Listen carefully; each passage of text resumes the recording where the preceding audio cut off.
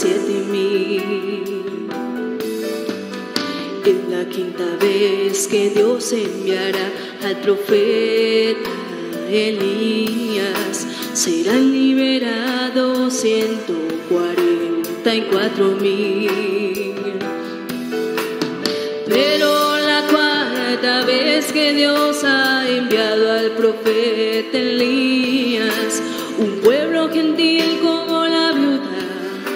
Sarepta obtendrás.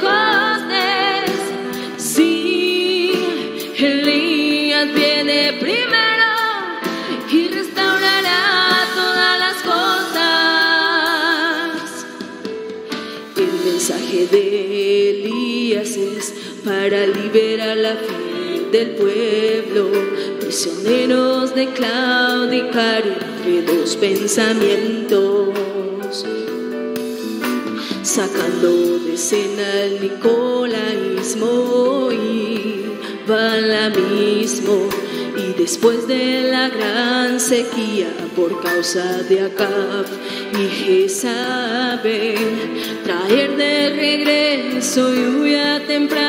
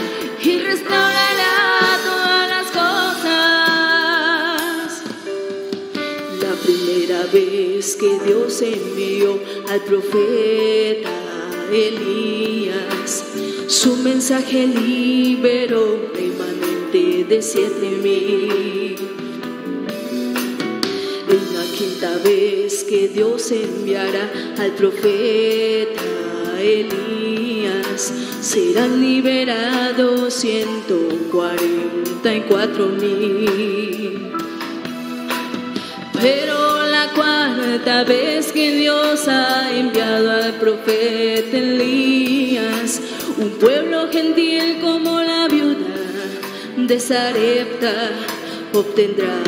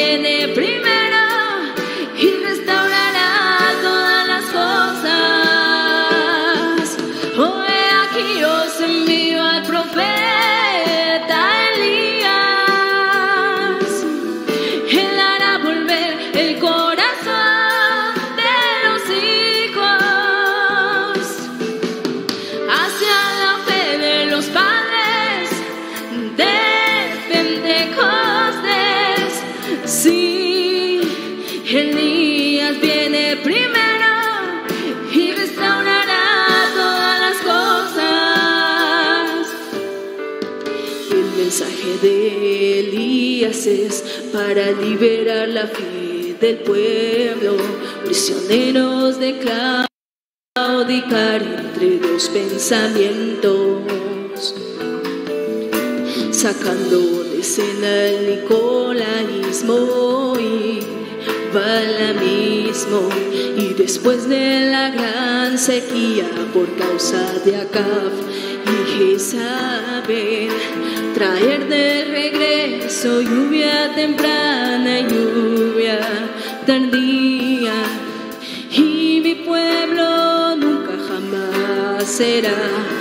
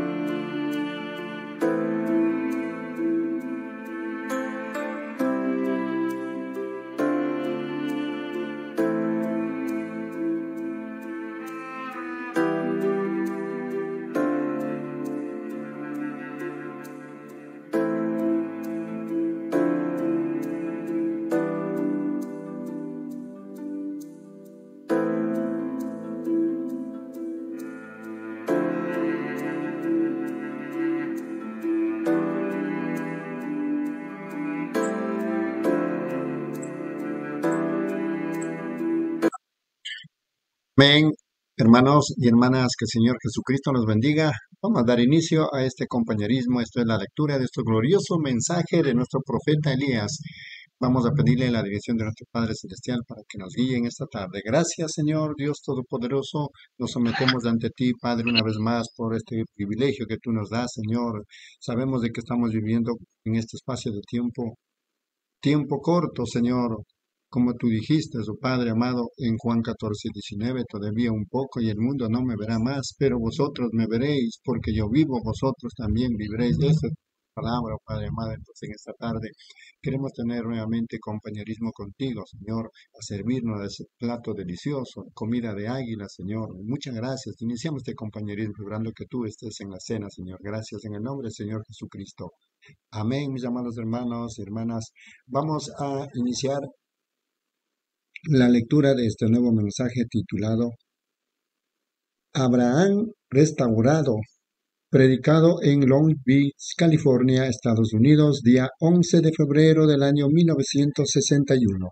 Inicio los primeros párrafos con este nuevo mensaje. Párrafo 1 dice, Dios bendiga a cada uno de ustedes. Buenas noches, amigos. Es un privilegio estar de nuevo otra vez esta noche en la iglesia para, para hablar de la palabra la palabra eterna del Dios eterno del cielo. Estoy un poquito cansado. Tuvimos, tuvimos dos servicios esta mañana en el desayuno de compañerismo de los hombres cristianos de negocio. El Señor nos dio una gran bendición. Algo sucedió en mi propia vida que yo nunca lo olvidaré. Y así que estoy tan agradecido con el Señor. Fue una confirmación que, que lo que estoy tratando de hacer para el Señor, el Señor lo vindicó que era era su voluntad. Y, y ustedes saben cómo uno siente cuando algo como eso sucede. Lo hace a uno sentirse muy bien. Ahora, yo les he estado reteniendo un poquito tarde. Lo siento que lo he hecho. Y, y yo sencillamente, esta mañana pensé que yo iba muy bien. Y yo dije, soy 25 minutos, son 25 minutos para las 11 y el reloj se había parado por una hora, dijo el hermano Brean. Así que me imagino que es solo de la manera que es. Ustedes saben, sencillamente nos falta tiempo. Hay tanto que decir y tan poquito tiempo para decirlo. Párrafo 2. Mañana en la mañana yo pienso a las once o a las once y media. Cuando se despida la iglesia, yo voy a, a venir aquí otra vez para un mensajecito a la iglesia. Si es la voluntad del Señor. Eso es después que el pastor y todos terminen con sus actividades de la mañana y con la escuela dominical. Y luego mañana en la noche vamos a orar por los enfermos. Eso es si vienen suficientes para hacerlo. Ven, tenemos que tener suficientes para formar una fila de oración si es que vamos a orar por los enfermos. Miren, mi hijo dijo que el otro día, que cuando él estaba repartiendo las tarjetas de oración, después que él repartió como unas 20, él dijo que fueron todas, que ya no había más gente, que no podía repartir más tarjetas, porque no había tantos así. De esa manera es cuando estamos en una iglesia pequeña. Ustedes saben, cuando tenemos reuniones de iglesia, ven, cuando llegamos a grandes audiencias. Y entonces mañana en la noche, si ustedes tienen amados que quieren que se ore por ellos, ahora estamos planeando, si es la voluntad de Dios, orar por los enfermos mañana en la noche.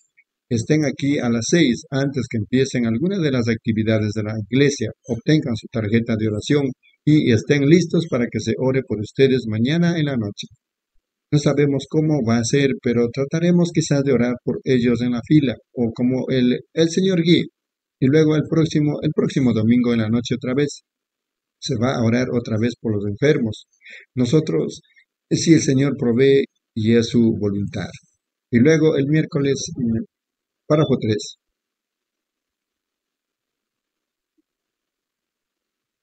Segundito que se descuadró esto.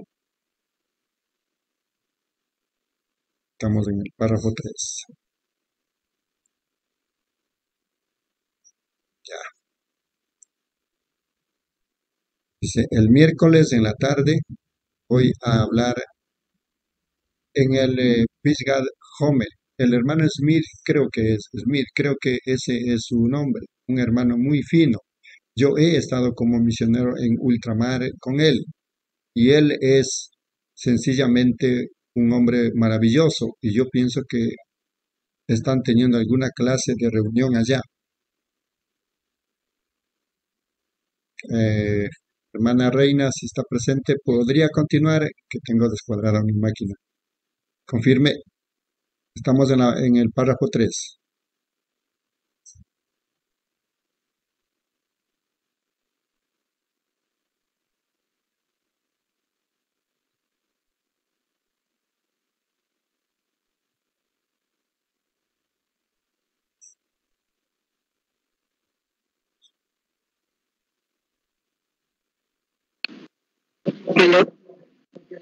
Confirme en la en el párrafo 3 nos quedamos. Voy a sincronizar la máquina que se me fue. Amén. Dios le bendiga, hermanos y hermanas. Continuando con la lectura del mensaje Abraham restaurado. Párrafo número Nombre, 3. Un hermano muy fino. Yo he estado como misionero en ultramar con él, y él es sencillamente un hombre maravilloso. Voy a hablar en el y yo pienso que están teniendo alguna clase de reunión allá. así que yo voy a hablar allá el próximo miércoles en la tarde. y luego regreso aquí para el servicio del miércoles en la noche. muy fino. Yo he estado como misionero en ultramar. Para el lunes que sigue, estamos tratando de ver si podemos tomar un, día entre todo eso para ir al lugar del hermano Espinosa a San Bernardino. Antes que vayamos a Bakersfield o cerca de Bakersfield, en donde el lugar, ¿cuál es el nombre de ese hermano Gene? En la tarde. Baisali. Y luego regreso aquí Creo que para tienen el un servicio del miércoles y está en la noche. Fresno y Bakersfield, Y para que se puedan reunir a los dos sigue, grupos de gente, Estamos porque allí hay tratando de gente de ver ambas si podemos tomar un día y ellos la pusieron allí para ir al lugar del hermano Espinosa, Así que estén a San orando. Bernardino.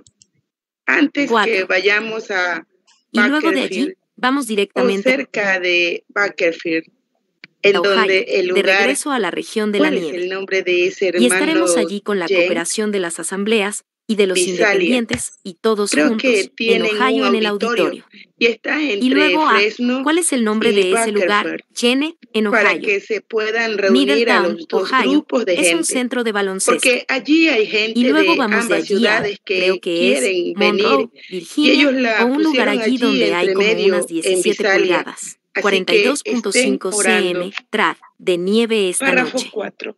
Y luego Y regresamos luego de allí y vamos de a allí Bloomington, vamos Illinois, la directamente siguiente a semana. Ohio.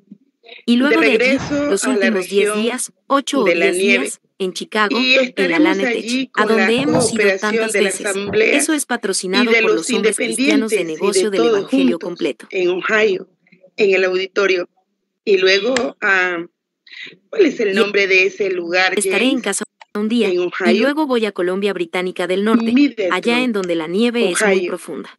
Es un Y centro así de que estaré allá baloncesto entonces, en la Grande Prairie, y pienso que el siguiente es Dawson Creek, y luego Fort St. John. Esa es la última parada antes que uno entre a Anchorage, Alaska, 1500 millas, 2400 km, dentro de lo desolado. Y luego regresamos luego, de si allí es la voluntad del Señor, voy a regresar, y de allí voy a ultramar. Illinois. Y luego espero regresar a mi lugar nativo. Y luego de allí, el próximo otoño, días, para esas fechas, ocho si es la voluntad del Señor, en para esas fechas en el en principio de la otoño, en octubre, noviembre, a si el Señor se tarda. ido Si no se tarda, veces. si Él me Eso lleva es antes de ese tiempo, por los encontraré al otro del lado. negocio del evangelio Si Él tarda, estaré con Judy S. Y y nos iremos en arriba para verlo a Él. ¿Ven? luego voy a Iremos Colombia arriba para encontrarlo en el aire. Ahora, norte. eso pudiera suceder en cualquier en donde la momento. nieve No sabemos. Sencillamente no lo podemos saber. estaré allá Pero- entonces en la grande Prairie 5. y pienso que el siguiente Y es nosotros somos Dawson misioneros. Creek y luego Yo les estaba Fort hablando a algunos esta mañana John. y ellos estaban hablando tocante a ¿qué piensan antes S? que uno entre en Anchorage, Alaska. 1500 millas, 2400 kilómetros, dentro de lo desolado. Luego, si es la voluntad del Señor, voy a regresar y de allí voy a ultramar. Y luego espero regresar a mi lugar nativo el próximo otoño. Para esas fechas, si es la voluntad del Señor, para esas fechas en el principio de otoño, en octubre, noviembre, si el Señor se tarda, si no se tarda, si Él me lleva antes de ese tiempo, los encontraré al otro lado. Si Él, si él tarda, estaré con ustedes y nos iremos arriba para verlo a Él. ¿Ven? Iremos arriba para encontrarlo en el aire. Ahora, eso pudiera suceder en cualquier momento. No sabemos. Sencillamente no lo podemos saber. Pero, párrafo 5. Y nosotros somos misioneros. Yo les estaba hablando a algunos esta mañana y ellos estaban hablando tocante a, ¿qué piensan ustedes tocante a la situación americana aquí? Es igual a todos los otros, los otros misioneros y los demás. Creemos que el, el avivamiento está en las otras tierras ahora. La gente de allá, hay como, ustedes saben, hay tanto pez en el lago y cuando el último sea pescado, eso es todo. Dios no tendrá un cuerpo anormal. Él no tendrá una mano con seis dedos en ella, ¿ven? Será que cuando ese cuerpo esté completo, eso será todo, ¿ven? No importa cuánto más uno predique o lo que él haga, no habrá más que vendrán. Así que casi, y es de esa manera en nuestra nación, amigos. Es una hora terrible en la que estamos viviendo. Ustedes no lo comprenden. Pregunten a algún otro evangelista, no solamente tomen mi palabra o miren por todo el país, vean en dónde ustedes ven las grandes masas viniendo a Cristo. Bueno, uno puede ir a Bombay, India, y, y silbar una alabanza por unos cinco minutos tocante al Señor o hablar cuatro o cinco palabras y cinco mil personas están allí clamando para ser salvas, ¿correcto? Y luego aquí vamos de lugar a lugar y batallamos y nos esforzamos y batallamos y nos esforzamos. Sencillamente no, únicamente hay una cosa que la gente americana puede hacer. Eso es patrocinar un programa allá. Ellos tienen el dinero aquí, ellos no tienen nada allá y no lo pueden pagar, pero ellos ciertamente están dispuestos y lo quieren oír. Parado yo en una rampa despidiéndome y decenas de millares están allí moviendo sus manos de un lado al otro, solo para que uno solo predique unos cinco minutos tocante a Jesús, solo diga unas cuantas palabras. Yo dije eso, seis, y veo que hay una mujer hindú sentada aquí enfrente de mí esta noche y ¿es usted, es usted de la India? La señora dice algo, oh, del sur de la India.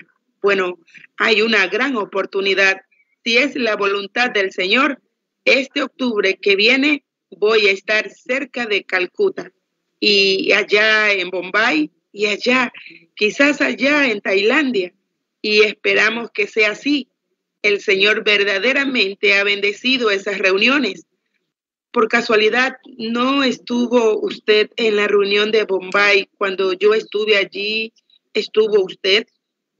La señora dice, no estuve allí, no estuvo. Me imagino que usted oyó tocante a ella. Un hombre habla algo que no se entiende. Perdónenme. Él lo repite. Oh, sí. Bueno, eso fue maravilloso. Fue una gran reunión allí. Dios ciertamente bendijo a su pueblo. Y yo nunca olvidaré mientras viva esa reunión aquella noche en Bombay. Ellos, ellos, me reuní con el obispo de la iglesia metodista y muchos de los líderes y ellos no querían que fuera bajo ese patrocinador que yo estaba. Y ellos, yo ya había recibido dinero de esas pobres mujeres y hombres para ir allá. Y de seguro yo iba a ministrar mientras yo estuviera allí de todas maneras. Aunque el administrador se había equivocado tocante al, itinerario, o mejor dicho, tocante al patrocinador. Pero, oh hermanos, yo nunca he visto en mi vida a tanta gente asistir a una reunión y el alcalde de la ciudad estaba allí. Párrafo 7. Y eso fue cuando el hombre ciego recibió su vista parado allí, cuando yo reté a todo maometano y a todos ellos, vengan, denle en su vista y yo les creeré. ¿Ve? Que el Dios él era un adorador del sol, ahora se quedó ciego. Él adoraba la creación en lugar del, creador. Yo dije, yo estaba allá en el templo de los Hains, ustedes saben, y los, y los, y los Budas, y todos ellos estaban allí, y ellos, había siete u ocho religiones diferentes, y cada una de ellas estaba en contra de Jesucristo, y no creía en él. Así que esa noche, cuando vino ese gran desafío, todos ellos estaban sentados allí y yo dije, miren, aquí está un hombre que ha estado ciego por 20 años y ustedes piensan que yo le estoy adivinando los pensamientos de su mente. Ustedes saben, les dije a hombres santos, ustedes saben y lo demás, a los adoradores. Y yo dije, ustedes piensan que es telepatía que es adivinando los pensamientos de su mente, porque le dije cuál era su nombre. Ni siquiera lo podía pronunciar, lo tuve que deletrear, ¿ven? Y así que yo dije, eso fue correcto. Y él era un hombre que tenía dos hijos y su esposa. Y uno de los hijos tenía ocho años y el otro tenía diez años o algo así. Yo dije, ahora, ustedes pensaron que fue telepatía. Ahora, si eso es telepatía, entonces ustedes vengan aquí. Yo no sé nada tocante a la telepatía. Si es, si es, ustedes son un genio, de hecho. Yo no sé nada tocante a psicología. Ustedes vengan aquí y denle a él su vista y yo lo seguiré. ¿Ven? Yo dije, si si la religión maometana es tan poderosa y este Corán está correcto, yo dije, entonces que los sacerdotes maometanos vengan aquí y le den a él su vista y yo seré un maometano. Yo dije, ahora yo los desafío a ustedes, a todos en el nombre de Jesucristo, que vengan y le den su vista. Yo nunca hubiera dicho eso si no hubiera visto una visión que él iba a recibir su vista, pero yo sabía en dónde estaba parado. Ese fue el grupo más callado que ustedes jamás oyeron. Miles. Bueno, me tomaron dos horas para atravesar en un automóvil para llegar allá. Ocho. Y así que el hombre estaba parado allí y yo dije, él dijo que serviría al Dios que le diera su vista.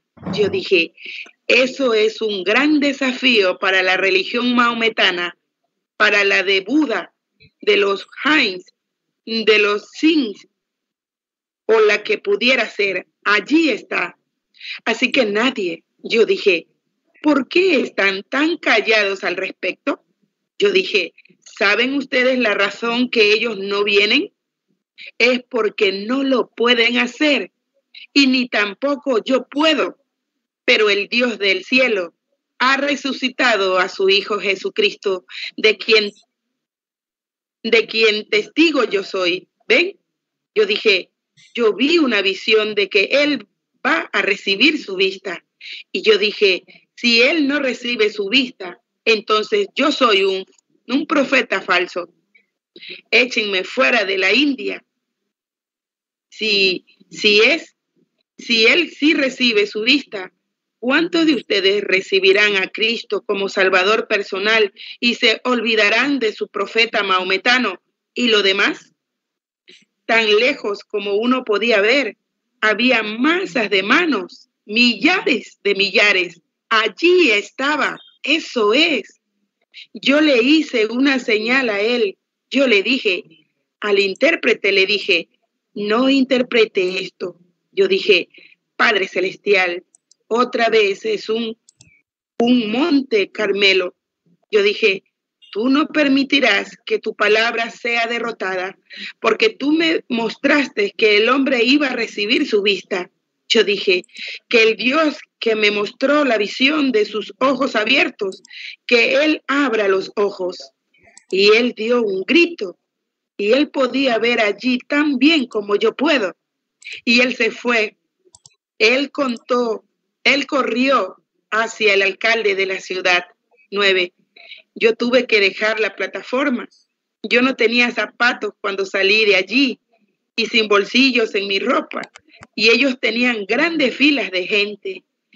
Me, me, imagino que eran guardias o algo que traían palos largos. Ustedes saben que los estaban deteniendo.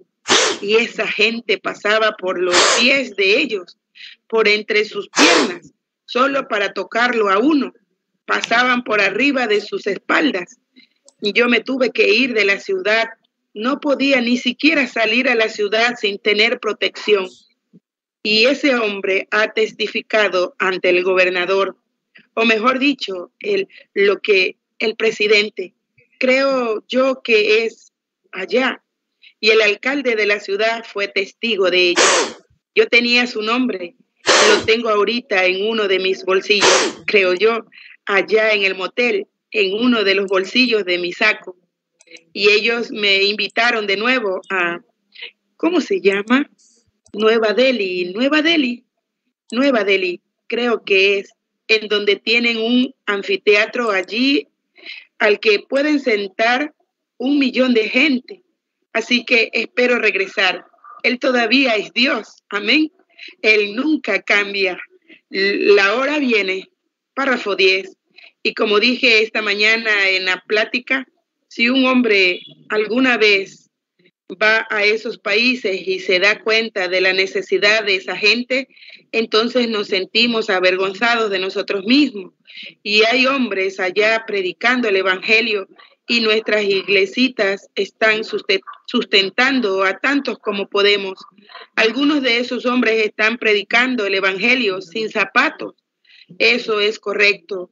Los misioneros predicando el Evangelio sin zapatos, quizás con un plato pequeño de comida sazonada, como dos veces a la semana, andando entre las selvas y por todas partes tratando de predicar el Evangelio y nosotros edificando edificios de 6 millones de dólares y como si no fuéramos a quedar aquí para siempre y predicando que la venida del Señor está a la mano. Para mí no tiene sentido. Yo yo yo no quiero empezar en eso. Estamos en otro tema. Ahora, anoche antes que abordemos la palabra, abordemos al autor en oración, inclinemos nuestros rostros. Amén. Dios le bendiga, hermanos y hermanas. Amén, hermana Reina, Dios le bendiga la lectura. Estamos lecturando este mensaje, Habrán restaurado, predicado en Long Beach, California, Estados Unidos, día 11 de febrero del año 1961. Voy a continuar en los párrafos 11, dice, Nuestro Padre Celestial, Estamos congregados otra vez esta noche en el nombre del Señor Jesucristo. nuestro amado Salvador, tu Hijo. Nos hemos congregado en su nombre porque Él prometió que si dos o tres se congregaban en su nombre, que todo lo que ellos pidieran, cualquier cosa, ellos la recibirían. Ahora, Padre, hay más aquí que eso, pero es solo muestra que tú estás dispuesto a encontrarte con la iglesia sin importar cuánto esté en la minoría. Tú todavía te encontrarás con tu pueblo y estamos pidiendo esta noche que tú vengas y nos bendigas. Mañana, el domingo, miles de púlpitos estarán abiertos por todo el mundo mañana Dios, algunos de ellos ya están abiertos en otros países. Ya es domingo en la mañana en otros países. Pedimos, Padre, que tú unjas en tus ministros, a tus ministros, en donde quiera, unge a tus misioneros, en donde quiera que estén, tus siervos que están orando por los enfermos, Dios, que estén tan ungidos, que grandes señales y prodigios sean hechos en donde quiera, en todo hombre, en toda iglesia, y en toda fase de cristianismo, Señor, que llegue el tiempo en el que Dios derrame su espíritu de tal manera que los críticos retrocedan y la iglesia del Dios viviente sea reunida como una gallina que reúne a sus polluelos. Concédelo, Padre. Oramos por esta iglesia que ha abierto las puertas para traernos aquí. Pedimos que mañana tú bendigas al pastor, a los maestros de la escuela dominical, al coro y todas sus actividades, al laico, a sus diáconos, síndicos y a todos los demás, que en la mañana cuando ellos se reúnan para la clase de la escuela dominical, que grandes señales y prodigios acontezcan, que el Espíritu Santo caiga en el edificio, que empiece un avivamiento, que caigan bajo el poder de Dios, postrados en los pisos, por todas partes, que sea un ejemplo en la ciudad de lo que Dios puede hacer cuando su gente se reúne y se consagra para orar. Mirando esta noche a ese hermano hindú y a esa mujer y los niñitos, estoy tan agradecido, Señor, que, que ellos están aquí con nosotros esta noche. Solo es para mostrarnos, Señor, que verdaderamente está escrito en la Biblia que Dios no hace acepción de personas. Y tú, tú Tú honras a aquellos que te alaban y que te temen en todas las naciones. Estamos tan agradecidos por eso, que tú eres un Padre universal para todos nosotros, un Padre eterno. Y pedimos, Señor, que tú envíes tus bendiciones eternas sobre nosotros esta noche. Perdona nuestros pecados como nosotros perdonamos a aquellos que pecaron contra nosotros.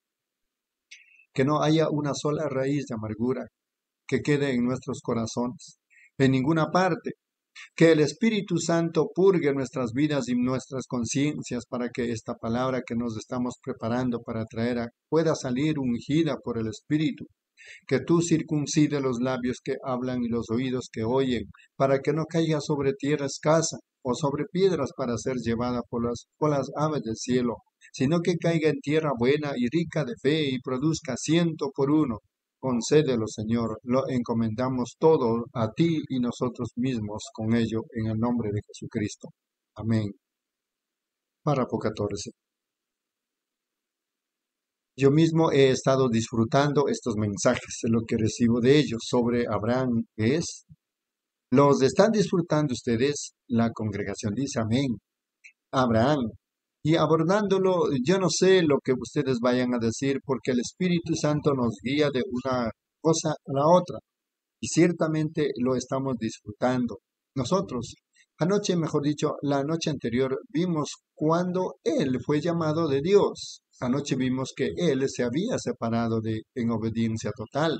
Y vimos que ustedes no pueden ser bendecidos y Dios no puede hacer nada por ustedes hasta que ustedes le obedezcan completamente a Él. 15. Ahora, hay una, una pequeña instrucción que le voy a dar a los hermanos. Ustedes pudieran venir aquí y se pueden orar por ustedes. Ángeles pudieran poner las manos sobre ustedes y no les dará nada de bien hasta que primero lo crean y lo acepten, lo confiesen. Pues es el sumo sacerdote de nuestra confesión. Tenemos que confesarlo primero, antes que Él lo pueda testificar delante de Dios. pues Él es el sumo sacerdote allí para interceder sobre nuestra confesión de lo que Él ha hecho por nosotros. Ahora, ¿qué es sanidad divina? Significa ahora que tenemos que esperar esta mañana en la noche para ser sanados. No, Señor, tengo yo que venir a la iglesia. No, Señor. En el momento que ustedes le crean a Dios y la aceptan como su, propiedad personal, está concluida allí mismo.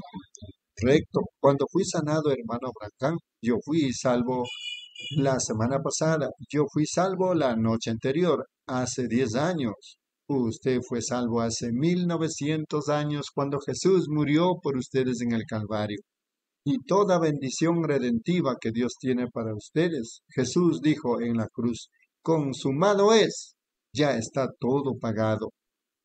Es lo mismo que si ustedes estuvieran en la casa de empeño y Dios vino y lo sacó.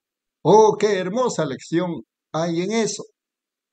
Pueda que entremos en ello la próxima semana, hablando de Ruth y de Noemí, del pariente redentor.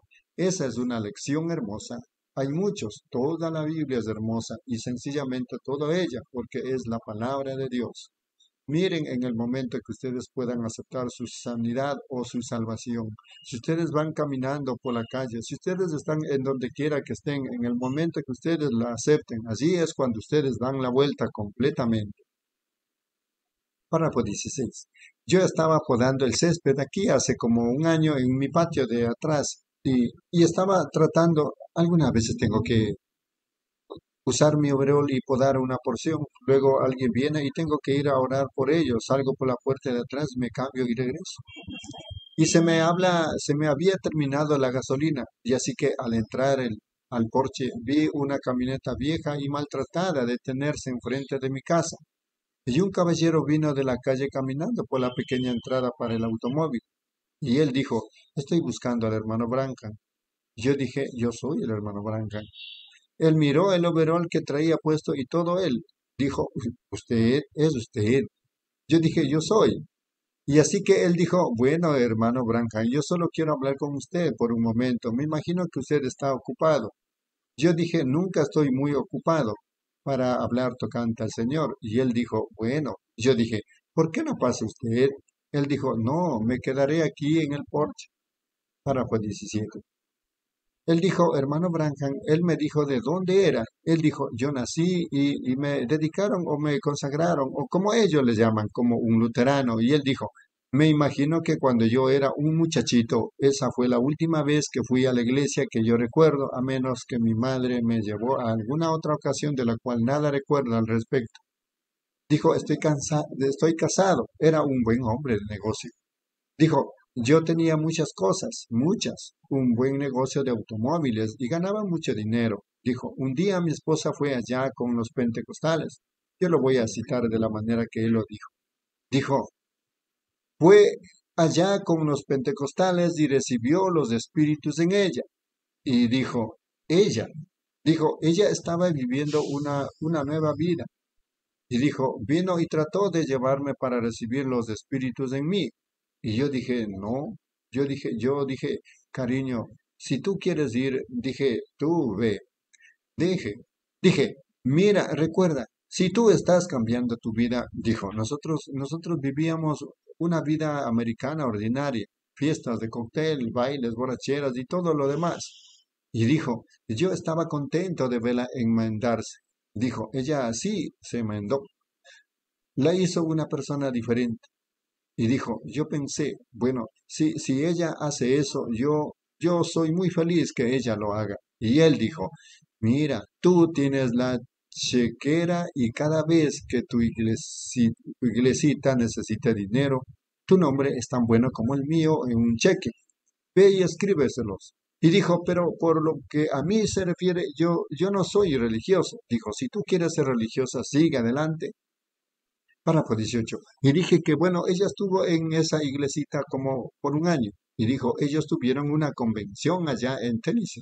Así que me parece que era la iglesia del Dios de profecía, allá en donde ellos, ellos tienen sus convenciones, allá. Y así que él dijo que ella fue allá y dijo, yo estaba vendiendo un automóvil en, un, en el, eh, el, y dijo a unas damas. Yo dije, y dijo, me había puesto mi saco de verano dijo, para ir allá a venderles. Y dijo, cuando regresé me puse a pensar, le di a esa mujer el segundo juego de llaves y metí mi mano en mi bolsillo y dijo, y saqué una pequeña tarjeta de ahí adentro con un signo de interrogación y en la parte de atrás de ella decía, ¿en dónde pasarás la eternidad? Bueno, él dijo, miré y pensé, bueno, ¿quién podría e-, eso en mi bolsillo? Y la tiré en el cesto de la basura. Y dijo, algo me dijo, pero eso tiene que ser solucionado. Dijo, me, me agaché y lo recogí otra vez. Y dijo, me puse a temblar y pensé, eso es verdad. Yo tengo más de 40 años de edad, así que debería estar indagando en dónde la voy a pasar. Y dijo, dije, oh, mira, te estás haciendo todo un lío. Así que él la tiró otra vez, trató de voltear y no mirar, prendió el abanico y demás, y dijo, él volteó para mirar eso otra vez. Eso continuaba sonando en su corazón. ¿En dónde pasarás la eternidad? Él la recogió la tercera vez y dijo que lo puso tan nervioso al grado que aún no podía, se, se tuvo que ir a casa. Párrafo 19. Que dijo que él oyó que el famoso evangelista Billy Graham en un estado vecino al de él estaba llevando a cabo una reunión. Dijo que él fue allá a esa reunión. Pensó que él podría hablarlo con el señor Graham y dijo, el señor Graham predicó un mensaje notable en esa noche. Y él dijo, todos los que quieran ver, recibir a Jesucristo, póngase de pie y levanten su mano. Dijo, yo me puse de pie y levanté mi mano. Dijo, ellos me metieron en el cuarto y me preguntaron si yo creía que él era el Hijo de Dios. Y yo dije, sí, lo creo. Y ellos me dijeron que sobre mi fe esa me hacía un, un cristiano y dijeron, todo terminó ahora. Él dijo, hermano Branham, pero no estaba todo terminado. Él dijo, salí de allí y luego fui a otro lugar, a la gente que se llamaba Metodistas Libres. Y dijo, ellos me dijeron que tenía que ser santificado y ser feliz y gritar y luego todo terminaría. Y dijo, ellos se quedaron conmigo. Y dijo, me sentí feliz, fui santificado y grité y estaba. Pero dije, dijo, ellos me dijeron, todo terminó. Dijo, pero no estaba. Y dijo, luego yo fui a un famoso hermano pentecostal que recorre la nación de punta a punta, de uno de los grupos pentecostales más grandes. Y dijo, él dijo, ¿has hablado alguna vez en lenguas? Dije, no. Dijo, entonces tú todavía no has recibido el Espíritu Santo. Dijo, entonces regresa a la otra tienda y recibí, recibe el Espíritu Santo. Él dijo, ellos fueron muy amables conmigo, instruyéndome y todo. Y dijo, me quedé allí y había algunos de ellos que se quedaron conmigo. Fui entrada la noche. Dijo, finalmente el poder cayó sobre mí y yo hablé en lenguas. Y dijo, y salí de allí. Dijo, fui a ver al evangelista el siguiente día. Él dijo, todo terminó.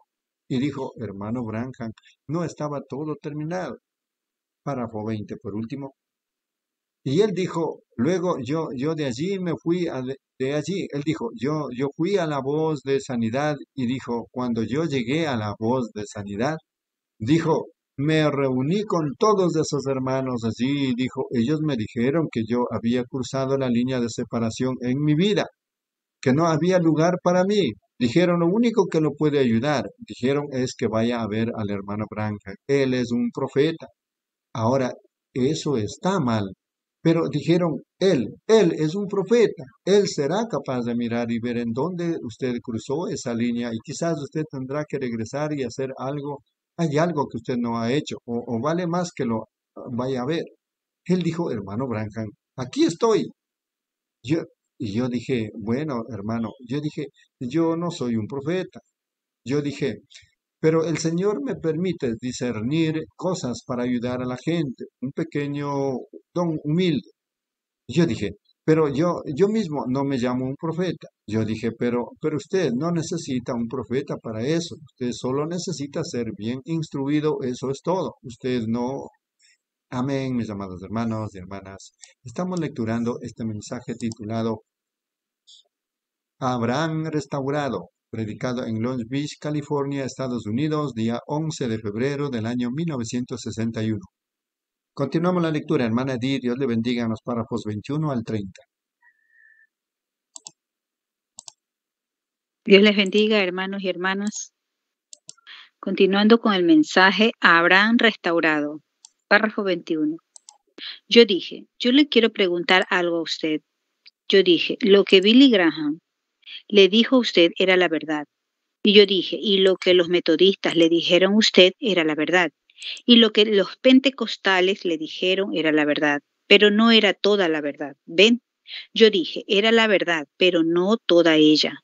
Yo dije, yo creo en aceptar a Jesucristo como Salvador personal. Yo creo eso. Yo creo en santificación y limpiar una vida y ponerse feliz y gritar. Yo creo eso. Yo creo en hablar en lenguas y en el bautismo del Espíritu. Y creo en todo eso.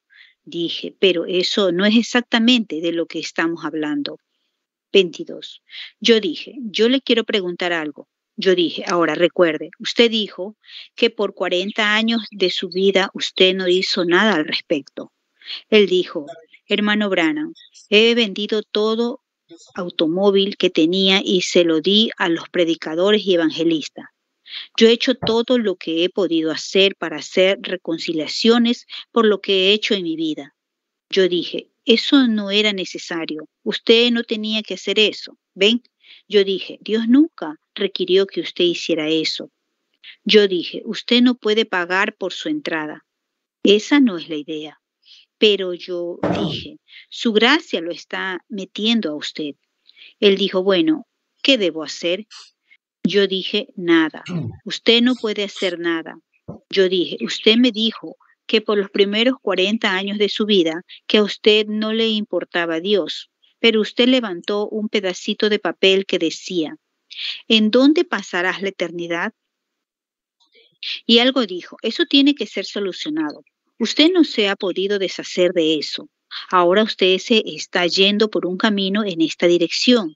Y de repente usted emprendió el viaje de regreso en esta dirección. A usted, no le importaba a Dios. Usted empezó a regresar para buscarlo a Él. Yo dije, allí en donde usted dio su vuelta. Eso fue exactamente lo que lo cambió a usted, allí mismo. Él dijo, entonces yo lo he tenido todo el tiempo. Yo dije, seguro que sí. Él dijo, bueno, alabado sea Dios. ¿Ven? 23. No es sobre alguna sensación, si no, ¿lo creyeron?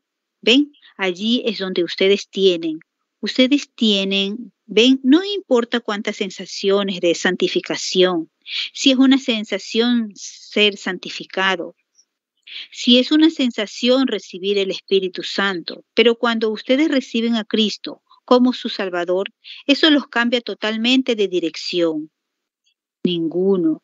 Jesús dijo en San Juan 5:24, Piensen en una mano llena de huevos, cinco, y dos docenas de huevos, veinticuatro. Mnemotecnia usada por el hermano Branham para recordar esta escritura. En 5.24. El que oye mi palabra y crea el que me envió, tiene tiempo presente, vida eterna, y no vendrá a condenación, mas ha pasado de muerte a vida ahí lo tienen ustedes, ¿ven? Ahí mismo ustedes cambian totalmente de dirección. Esa es una parte del Espíritu Santo. Santificación es otra parte del Espíritu Santo. Entonces, cuando ustedes se llenan tanto de Él que no pueden hacer nada más, como el hermano Rose dijo, él entonces les da a ustedes otro lenguaje, entonces, sí, y luego él sencillamente los llena. Se necesita el Espíritu Santo. Ninguno puede venir a mí si el Padre no le trajere primero. Todo lo que el Padre me ha dado vendrá. Ahí lo tienen. Así que cuando ustedes tengan el más pequeño tintineo en su corazón para venir a Cristo, háganlo de inmediato, porque esa es la cosa más grande que jamás le haya sucedido a ustedes. Que Dios los llame a ustedes para la cena de las bodas de su hijo. Yo no sé de algo más grande. Ahora su historia. Abraham, anoche lo dejamos después que él había pasado por una gran prueba y Sara había decidido que ella le daría a Agar a él como una esposa y dio, ella dio a luz un bebé. Y lo llamó Ismael. Y Abraham todavía sabía que eso no estaba correcto. Así que él fue delante de Dios. Fue el plan de Dios de hacerlo. Pero Dios le había prometido el bebé por medio de Sara. Y ahora él tenía 100 años de edad y Sara tenía 90. Y él fue delante de Dios y Dios le apareció y vino a él en el nombre del Dios Todopoderoso, la cual la palabra hebrea allí significa el Shaddai, el Todopoderoso. Y nos dimos cuenta al estudiar esa palabra que significa pecho en hebreo. Shaddai significa el Dios con pechos. Un Dios con pechos para verter su propia fuerza dentro de sus hijos creyentes. Cuando ellos están enfermos, cuando ellos están débiles, cuando están abatidos, él derrama su fuerza dentro de ellos mientras ellos se aferran de su promesa de pechos y empiezan a sacar fuerza de esas promesas. 25. El fuerte con pechos. Oh, yo pienso que ese es el cuadro más hermoso. ¿Ven? Qué consolación para un hombre anciano de 100 años de edad, todavía parado fiel en la promesa de Dios. Ahora la Biblia dice, ellos estaban muy entrados en edad. Estaban muy entrados en años. Era un anciano que se estaba aferrando a la promesa de Dios y le dijo, yo soy el que tiene pechos y tú no eres más que un niñito inquieto. La matriz de Sara había estado seca por 40 años. A ella le había pasado su periodo de menopausia hacia 40 años, 50 años antes que eso. Tal vez no había sucedido eso por un tiempo. Allí estaba ella, Todas las venas en ella se habían secado y era estéril. Y él como, como hombre estaba como muerto. No había más hombre en él, en ese sentido. Allí estaba él como un anciano y su esposa muy anciana. Y Dios dijo, pero yo soy la madre. Amén. Yo soy la madre. Solo toma, continúa aferrándote de mi promesa y continúa sacando. Yo soy capaz de hacer algo por ti. Oh, me gusta eso. 26. Y para mostrarle a él lo que él iba a hacer, él le cambió su nombre en el capítulo 17. Y él cambió el nombre de Sara, correcto. Fíjense bien en esos nombres. Significan algo. ¿Por qué él cambió el nombre de Jacob a Israel? ¿Por qué él cambió el nombre de Saulo a Paulo? ¿Por qué él hizo todas esas cosas? Después que él venció y entró en la gloria, él dijo que su nombre fue cambiado. En Apocalipsis se les da una promesa a los que vencieren, que Él les daría su nombre nuevo, correcto. Cada vez que ellos vencían, se les daba un nombre nuevo. Abraham, cuando él finalmente venció, él cambió el nombre de Abraham, dijo, tú ya no serás llamado Abraham, sino tu nombre será llamado Abraham le dio parte de su nombre, puso su nombre en él, de él, Elohim, H-I-M, y H-A-M, Elohim. En otras palabras, yo soy el Padre de todas las cosas. ¿Ven? Y yo te estoy haciendo a ti un Padre de naciones. Así que yo lo he cambiado y te he dado parte de mi nombre. Padre de naciones. H-A-M. ¿Ven? Elohim, Abraham. Esa es una buena oración. ¿Pensaron ustedes alguna vez tocante a eso? Hay un gran evangelista hoy día llamado Graham, G-R-A-H-A-M, Billy Graham. Piénselo. Como Dios en su misericordia, como Él sabe de antemano y las cosas que Él hace. Ahora, fíjese lo que Él hizo allá. Él lo cambió a Sarai a Sara. El nombre de Sarai, Sarai, a Sara. Fíjese bien allí. Sara significa princesa y él fue padre de naciones. Oh, ¿es eso hermoso? Para ese hombre anciano y esa mujer anciana, él de 100 años de edad, ahora la promesa estaba para ser cumplida. 27. Ahora nos damos cuenta que después de eso, Abraham tuvo, él se había separado y fue y rescató a su hermano Lot, lo trajo de regreso y cuando él lo trajo de regreso y lo rescató del enemigo que lo hubiera matado, lo trajo de nuevo pensando quizás que él tal vez vendría ahora y se separaría de todas las cosas del mundo. En lugar de hacer eso, él regresó de nuevo allá a Sodoma, como una puerca a su revolcadero y un perro a su vómito. Ellos regresaron otra vez. Eso es lo que yo he estado condenando tanto.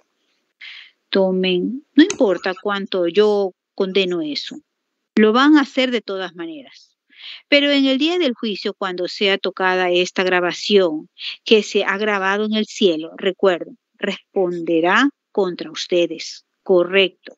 La iglesia pentecostal se está poniendo fría y formal, yendo de regreso a sus grandes profundidades de la organización. Y mientras nosotros pertenezcamos a la iglesia, eso es todo lo que se necesita. Ustedes tienen que nacer de nuevo. Ustedes tienen que tener el espíritu. Ustedes tienen que tener las obras, señales y prodigios y lo demás, como Dios lo prometió. Y allí es en donde veo que la iglesia se está enfriando. No importa cuánto predique contra ella.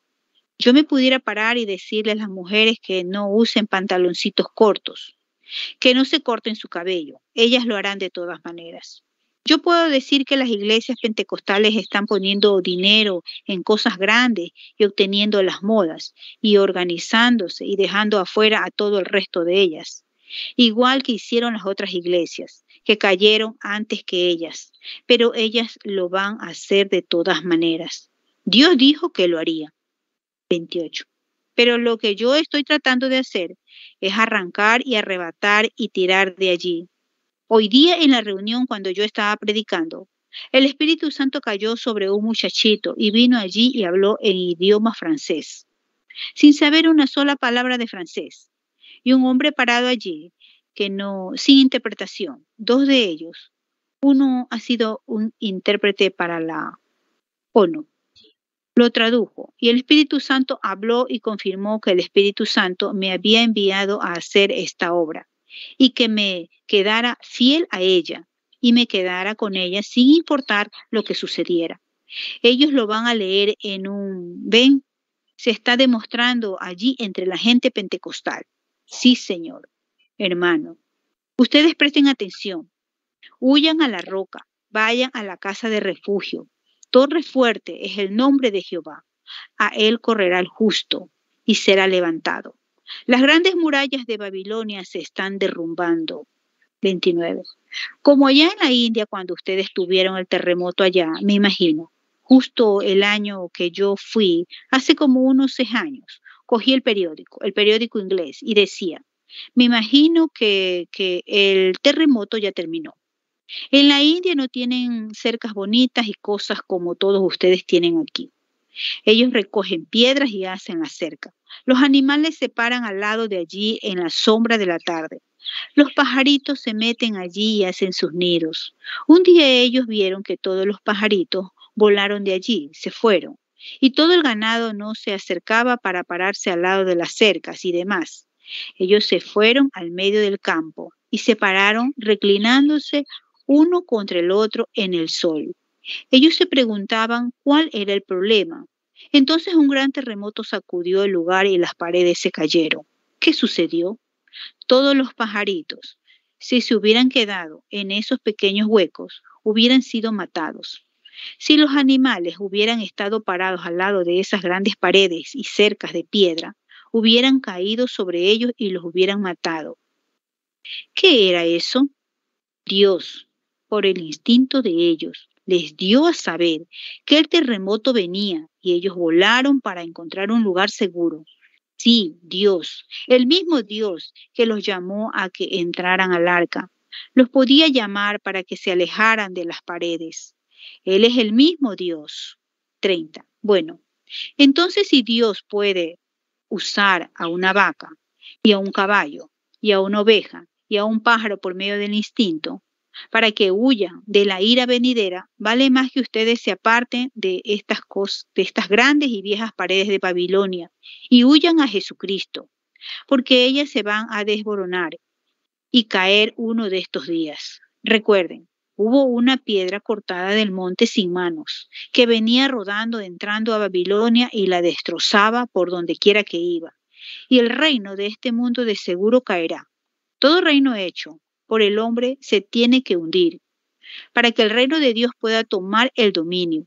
Toda organización hecha por el hombre caerá y se desboronará para que el poder del Espíritu Santo pueda tomar la iglesia y raptarla y llevarla a ese lugar allá arriba. Correcto. Sí, Señor.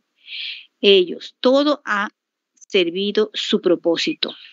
Pero estamos en el tiempo, hermano, cuando Dios está llamando a su pueblo a salir fuera. La piedra que fue cortada del monte sin manos está rodando, entrando, derrumbando a Babilonia, aplastándola. Apártese de las grandes paredes, amigo. Entren en Jesucristo. Ese es el único lugar de seguridad y de refugio que yo conozco. Amén. Dios le bendiga, hermanos. Amén, hermana Edith, Dios le bendiga en la lectura. Continuamos con este glorioso mensaje, Abraham restaurado, predicado en Lynn California, Estados Unidos, día 11 de febrero del año 1961. Hermana Reina, por favor, en los párrafos 31 al 40.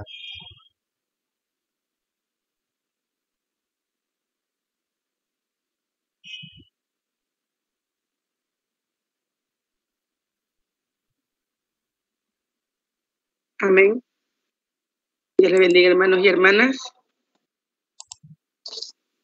Continuando con la lectura del mensaje Abraham restaurado. Párrafo 21. Yo dije, yo le quiero preguntar algo a usted. Yo dije, lo que Billy Graham le dijo a usted era la verdad. Y yo dije, y lo que los metodistas le dijeron a usted era la verdad. Y lo que los pentecostales le dijeron era la verdad. Pero no era toda la verdad. Amén. ¿Ven? Yo dije, era la verdad, pero no toda ella. Yo dije, yo creo en aceptar a Jesucristo como Salvador personal. Yo creo eso. Yo creo en santificación y limpiar una vida y ponerse feliz y gritar. Yo creo eso. Yo creo en hablar en lenguas y en el bautismo del Espíritu. Y creo en todo eso. Dije, pero eso no es exactamente de lo que estamos hablando. 22. Yo dije, yo le quiero preguntar algo. Yo dije, ahora recuerde, usted dijo que por 40 años de su vida usted no hizo nada al respecto. Él dijo, hermano Branham, He vendido todo automóvil que tenía y se lo di a los predicadores y evangelistas. Yo he hecho todo lo que he podido hacer para hacer reconciliaciones por lo que he hecho en mi vida. Yo dije, eso no era necesario. Usted no tenía que hacer eso. ¿Ven? Yo dije, Dios nunca requirió que usted hiciera eso. Yo dije, usted no puede pagar por su entrada. Esa no es la idea. Pero yo dije, su gracia lo está metiendo a usted. Él dijo, bueno, ¿qué debo hacer? Yo dije, nada. Usted no puede hacer nada. Yo dije, usted me dijo que por los primeros 40 años de su vida que a usted no le importaba Dios, pero usted levantó un pedacito de papel que decía, ¿en dónde pasarás la eternidad? Y algo dijo, eso tiene que ser solucionado. Usted no se ha podido deshacer de eso. Ahora, usted se estaba yendo por un camino en esta dirección y de repente usted emprendió el viaje de regreso en esta dirección. A usted no le importaba Dios. Usted empezó a regresar para buscarlo a Él. Yo dije, allí en donde usted dio su vuelta, eso fue exactamente lo que lo cambió a usted allí mismo. Él dijo, entonces yo lo he tenido todo el tiempo. Yo dije, seguro que sí. Él dijo, bueno, alabado sea Dios. ¿Ven? 23. No es sobre alguna sensación, sino lo creyeron. ¿Ven? Allí es en donde ustedes tienen, ustedes tienen, ¿ven? No importa cuántas sensaciones de santificación, sí, es una sensación ser santificado, sí, es una sensación recibir el bautismo del Espíritu Santo, pero cuando ustedes reciben a Cristo como su Salvador, eso los cambia totalmente de dirección. Ninguno, Jesús dijo en San Juan 5:24, piensen en una mano llena de huevos, 5, y dos docenas de huevos, 24. Mnemotecnia usada por el hermano Branham para recordar esta escritura. ¿Ven? 5:24. El que oye mi palabra y cree al que me envió, tiene tiempo presente, vida eterna, y no vendrá a condenación, mas ha pasado de muerte a vida. Ahí lo tienen ustedes, ¿ven? Ahí mismo ustedes cambian totalmente de dirección. Esa es una parte del Espíritu Santo. Santificación es otra parte del Espíritu Santo. Entonces, cuando ustedes se llenan tanto de Él, que no pueden hacer nada más, como el hermano Rose dijo, Él entonces les da a ustedes otro lenguaje, entonces, sí, y luego Él sencillamente los llena. Se necesita el Espíritu Santo. Ninguno puede venir a mí si el Padre no le trajere primero. Todo lo que el Padre me ha dado vendrá. Ahí lo tienen. Así que cuando ustedes tengan el más pequeño tintineo en su corazón para venir a Cristo, háganlo de inmediato, porque esa es la cosa más grande que jamás les haya sucedido a ustedes, que Dios los llame a ustedes para la cena de las bodas de su Hijo. Yo no sé de algo más grande. 24. Ahora, su historia. Sí, amén.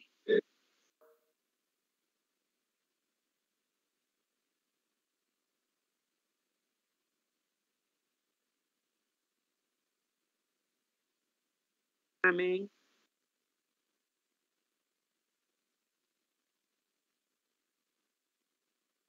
Párrafo 31. Vemos allí que Abraham, cuando él se dio cuenta lo que Dios quería que él hiciera, él lo bendijo y cambió su nombre. Y cambió el nombre de Sara. Le dio una, una promesa segura de que eso iba a suceder. Entonces lo encontramos a él, creo yo que es en el capítulo 18. Lo encontramos ya establecido en el campo, en alguna parte en el desierto, en lo difícil. ¿Qué cosa?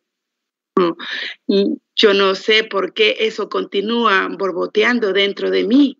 Yo, perdónenme. No, no me perdonen. Ahora, eso, eso no sería correcto. ¿Por qué es, hermanos? Yo estuve aquí no hace mucho tiempo y fui a un grupo grande de hombres finos pentecostales y yo dije, ustedes están dando los testimonios incorrectos. Ustedes siempre están hablando tocante a cómo Dios los está bendiciendo a ustedes. Cuántas grandes cosas ustedes tienen, cuántos Cadillacs ustedes poseen y todo de esa índole. Eso es muy diferente en comparación a lo que fue el primer Pentecostés. Ellos vendieron todo lo que ellos tenían y se lo dieron a los pobres y salieron predicando el Evangelio. Hay algo mal en alguna parte. Eso es exactamente correcto. Hubo un hombre que se levantó y dijo, y hermano Branham, ese fue el error más grande que la gente alguna vez cometió. Estábamos en Jamaica. Si hay alguno aquí que el hermano Bonamore, sí, ¿lo recuerda?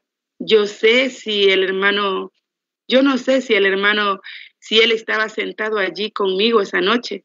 Yo dije, ¿me quiere decir que usted piensa que Dios comete errores? Dios no comete errores.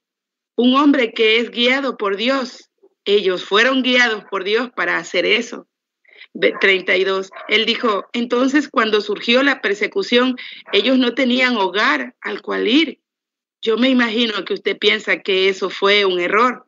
Yo dije, le debería dar vergüenza a usted que no sepa más tocante a, ha sido un pentecostal por tanto tiempo como usted lo ha sido y no sabe más tocante a Dios que eso. Eso es exactamente lo que Dios tuvo que hacer. Ellos entonces no tenían nada a lo cual regresar. Ellos se fueron y diseminaron el mensaje por todo el país. Dios sabe lo que Él está haciendo. Eso les permitió que fueran guiados, seguro. Dios no comete errores. Somos ustedes y yo los que cometemos errores. Amén. Dios no los comete. Cuando ustedes se sientan guiados por el Espíritu, sigan adelante, sigan adelante, solo continúen siguiendo adelante. 33. Aquí Abraham, él no estaba allá en Sodoma viendo cuánto él podía obtener. Él estaba allá en los campos de obediencia a Dios. Probablemente Sara no tenía los vestidos nuevos que la señora Lot tenía y no se mantuvo al tanto con todas las modas. Sin embargo, ellos dijeron que no había una mujer en la región tan hermosa como lo era Sara. Ella era una madre y también ella amaba tanto a su esposo que ella no se apretaba sus vestidos ni salía a la calle ni se comportaba de la manera que se comportaba la, la moderna Saralot. Perdón, ni se comportaba de la manera que se comportaba la moderna señora Lot y cosas así. Ella le llamaba a su propio esposo Señor. Y la Biblia dice, cuyas hijas vosotras sois, mientras obedezcan la palabra. ¿Correcto? Allí estaba ella y los vemos allá. Un tiempo de pobreza, el ganado menguando. Todo parecía ser, pero Abraham se estaba manteniendo en la promesa. Amén. Allí es en donde cometemos nuestro error, hermano. No son nuestras organizaciones las que cometen el error. Somos nosotros en la organización los que cometemos el error. ¿Ven? Todo está bien mientras ustedes, si ustedes permanecen en la promesa. Pero cuando ustedes entran en estas cosas, se empiezan a poner almidonados. Quieren actuar como el resto del mundo. Y esa es la razón que Dios se aparta de ella. Yo estoy mirando el rostro de uno de los más grandes historiadores que hay en los Estados Unidos. Y déjenme decirles a ustedes, es el hermano Paul Boyd, sentado allí. Y déjenme decirles a ustedes una cosa. Muéstrenme ustedes una porcioncita de historia en donde hubo una iglesia que entrara en una organización, que no cayera y que se levantara otra vez.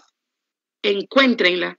Nunca se levantó, nunca se levantará. No es la voluntad de Dios. Entraremos en eso la próxima semana. 34, fíjense. Pero miren mientras continuamos adelante con Abraham.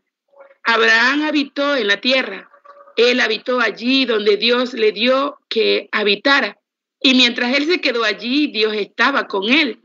Cuando él se fue de la tierra, una maldición vino sobre él, tan pronto como ustedes se aparten de la promesa de Dios. Entonces, prepárense para las dificultades. Eso es exactamente correcto. Ahora, nos damos cuenta que un día él estaba sentado allá afuera demos un pequeño drama para que estos niñitos aquí lo puedan captar. Ahora, yo veo a Abraham sentado en la puerta de la tienda una mañana. Había allí un gran encino enfrente de su hogar allí. Ellos reclaman que el encino todavía está allí.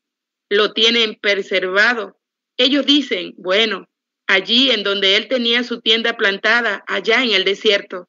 Lot estaba allá. ¿Qué cosa?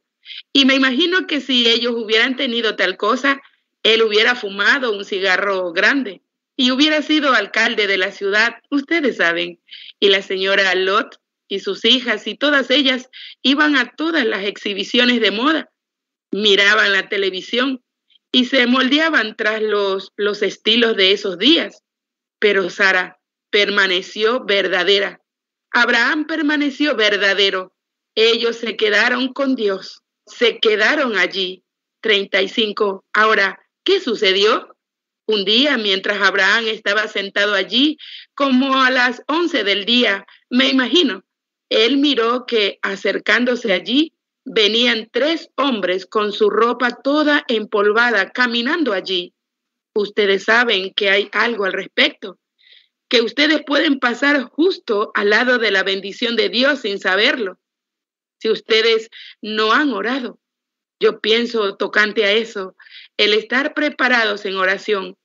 Hubo una mujercita irlandesa que venía de Irlanda no hace mucho tiempo y dijeron ellos que ella estaba en un barco e iba y para el momento que iban llegando a Nueva York, un gran tifón sopló a lo largo del océano y el barco estaba enviando sus SOS, señal internacional para pedir auxilio, y solo estaba zambulléndose de lugar a lugar.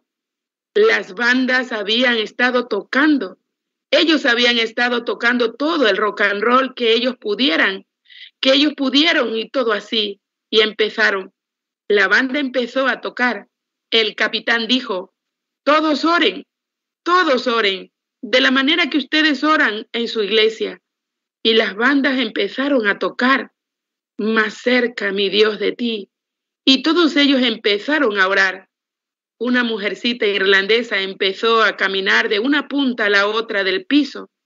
Y el capitán dijo, si solo nos podemos sostener en esta tormenta por 30 minutos, entraremos a la bahía y echaremos el ancla. Dijo, pero si no nos podemos sostener por 30 minutos, dijo, estaremos en el fondo del mar. 36. Esa mujercita irlandesa dijo, Gloria a Dios, aleluya. Así que el capitán se encaminó hacia ella y dijo, Señora, ¿entendió usted lo que dije? Ella dijo, yo lo entendí claramente a usted, Señor. Él dijo, yo dije que en 30 minutos, contando desde ahorita, nosotros pudiéramos estar en el fondo del mar si no nos podemos sostener por 30 minutos en esta tormenta. Dijo, yo entendí lo que usted quiso decir. Dijo, aleluya, alabado sea Dios. Dijo, ¿por qué no ora? Ella dijo, yo ya oré, no tengo que orar más. Dijo, yo ya he orado para empezar. Bueno, dijo, ¿cómo pudiera usted decir aleluya sabiendo que usted pudiera estar en el fondo del mar? Ella dijo, Señor, yo vengo de Irlanda para ver a una hija mía que vive en Nueva York. Ella dijo, yo tengo una hija en la gloria y otra en Nueva York. Si nos vamos al fondo del mar, yo veré a la que está allá, arriba. Si desembarcamos, yo veré a la que está allí, yo veré a una de ellas en 30 minutos, ¿correcto? Preparada en oración. Amén. Esa es la manera de mantenerse, preparado en oración. Estén listos para eso. Ella se iba a encontrar con una de ellas en 30 minutos. Ella sabía que si a ella no le importaba si era allá arriba o aquí abajo, ella iba a ver a una de ellas en 30 minutos. Ahora, eso es bueno eso está bien. De esa manera la iglesia debería estar todo el tiempo preparada en oración. 37. Abraham estaba preparado en oración, sentado allí afuera. Lot no sabía quizás lo que estaba sucediendo allá en el desierto. Pero cuando Abraham miró, había algo tocante a ese hombre caminando allí enfrente que él reconoció que se miraba un poquito extraño. Oh, hermanos, un hombre que se miraba extraño. Él salió corriendo y si ustedes se fijan, la primera cosa que él dijo, mi, no mis señores. Yo ciertamente no estoy de acuerdo con ese hermano judío que hizo esa declaración la otra noche en Cheverport. No, mis señores, sino mi Señor. S-E-N-O-R, mi mayúscula, S-E-N-O-R, ¿no entrarás? Ahora, si alguno de ustedes se fija en la traducción allí, Abraham lo llamó Elohim, lo invitó a que entrara. Dijo, no entrarás y te sentarás, te traeré un poco de agua y te lavaré tus pies, come un bocado de pan y dijo, entonces tú satisface tú tu deseo y luego te puedes ir a donde tú vas. Me lo puedo imaginar dándose prisa y decir, Sara, Sara, alguien está allá afuera, prepara la harina rápidamente o la harina de maíz. 38. ¿Y cuántos han visto un cernidor? Hay algunas mujeres, bueno, ¿de qué parte de Kentucky son ustedes? Yo solía ver a mi mamá con ese cernidor viejo ir al barril de la harina y tenía una cosita redonda como un rallador de queso y una malla de alambre en la parte de abajo y lo metía allí y ella tenía una cuña vieja allí y con ella deshacía los terrones que se hacían cuando la harina se mojaba. ¿Han visto ustedes alguna vez hacer eso? Ustedes saben, el otro día le compré a mi esposa un molino de café, uno de esa clase con que uno mismo lo muele. Bueno, yo no lo había molido desde que yo era un muchachito. Yo era mi deber limpiar el quinqué. Ustedes saben, tenía que una gran luna y un tecolote en el quinqué. ¿Recuerdan ustedes eso? Tenía que meter mi mano allí en el tubo del quinqué y limpiarlo. 39. Y yo veo a Abraham correr y decir, oye, toma, amasa la, la harina ahorita mismo y prepárala. Haz algunos panes debajo del rescoldo. Salió y le dejó un siervo que tomara un becerro tierno y lo preparara. Salió y le dijo a un siervo que tomara un becerro tierno y lo preparara. Y salió y dio de comer a esos hombres. Ahora, ellos actuaron como que si ellos eran extranjeros, como que eran de otro país, y ellos solo iban de paso. Y así que yo me imagino que quizás Abraham tomó el espantamoscas y salió allá, ustedes saben, y después de oscurecerse y, ¡ay! ¿cuántos saben lo que es un espantamoscas? Ahora sé que hay unos de Kentucky aquí, Sí, señor. Yo recuerdo cuando teníamos visitantes que los sentábamos allá afuera y cogía ese espantamoscas y yo me tenía que parar allí y mi pobre brazo casi se me quebraba espantando moscas. Mientras mamá estaba cocinando, yo me tenía que parar al lado de esa estufa y me limpiaba el sudor estando con ese espantamoscas. Ustedes saben, moviéndolo así para que las moscas no se acercaran en donde nosotros comíamos. Nosotros fuimos criados pobremente y así que tomábamos la mantequilla y la crema y la poníamos en la casa de la en la casa de la leche, o mejor dicho, no en la casa de la leche, sino en un lugarcito, allá en el arroyito, y la cubríamos con la olla de barro. Ustedes saben, y la leche hacía la crema se ponía así de gruesa. Yo me iba desapercibido muchas veces y cogía una taza de, ella cuando ella estaba tratando de guiarla o que estaba sabrosa. Párrafo 40. Ahora, nos damos cuenta que Abraham llevó esa comida allá afuera y la puso delante de esos hombres y ellos comieron. Ahora, Abraham tenía curiosidad de saber hacia dónde viajaban ellos, porque él sabía que uno de ellos allí, ese principal, era Dios. Él sabía que ese era Dios. Él lo llamó Elohim. Así que ahora, ¿qué representó eso? Nos damos cuenta que dos de ellos se levantaron y fueron allá a Sodoma.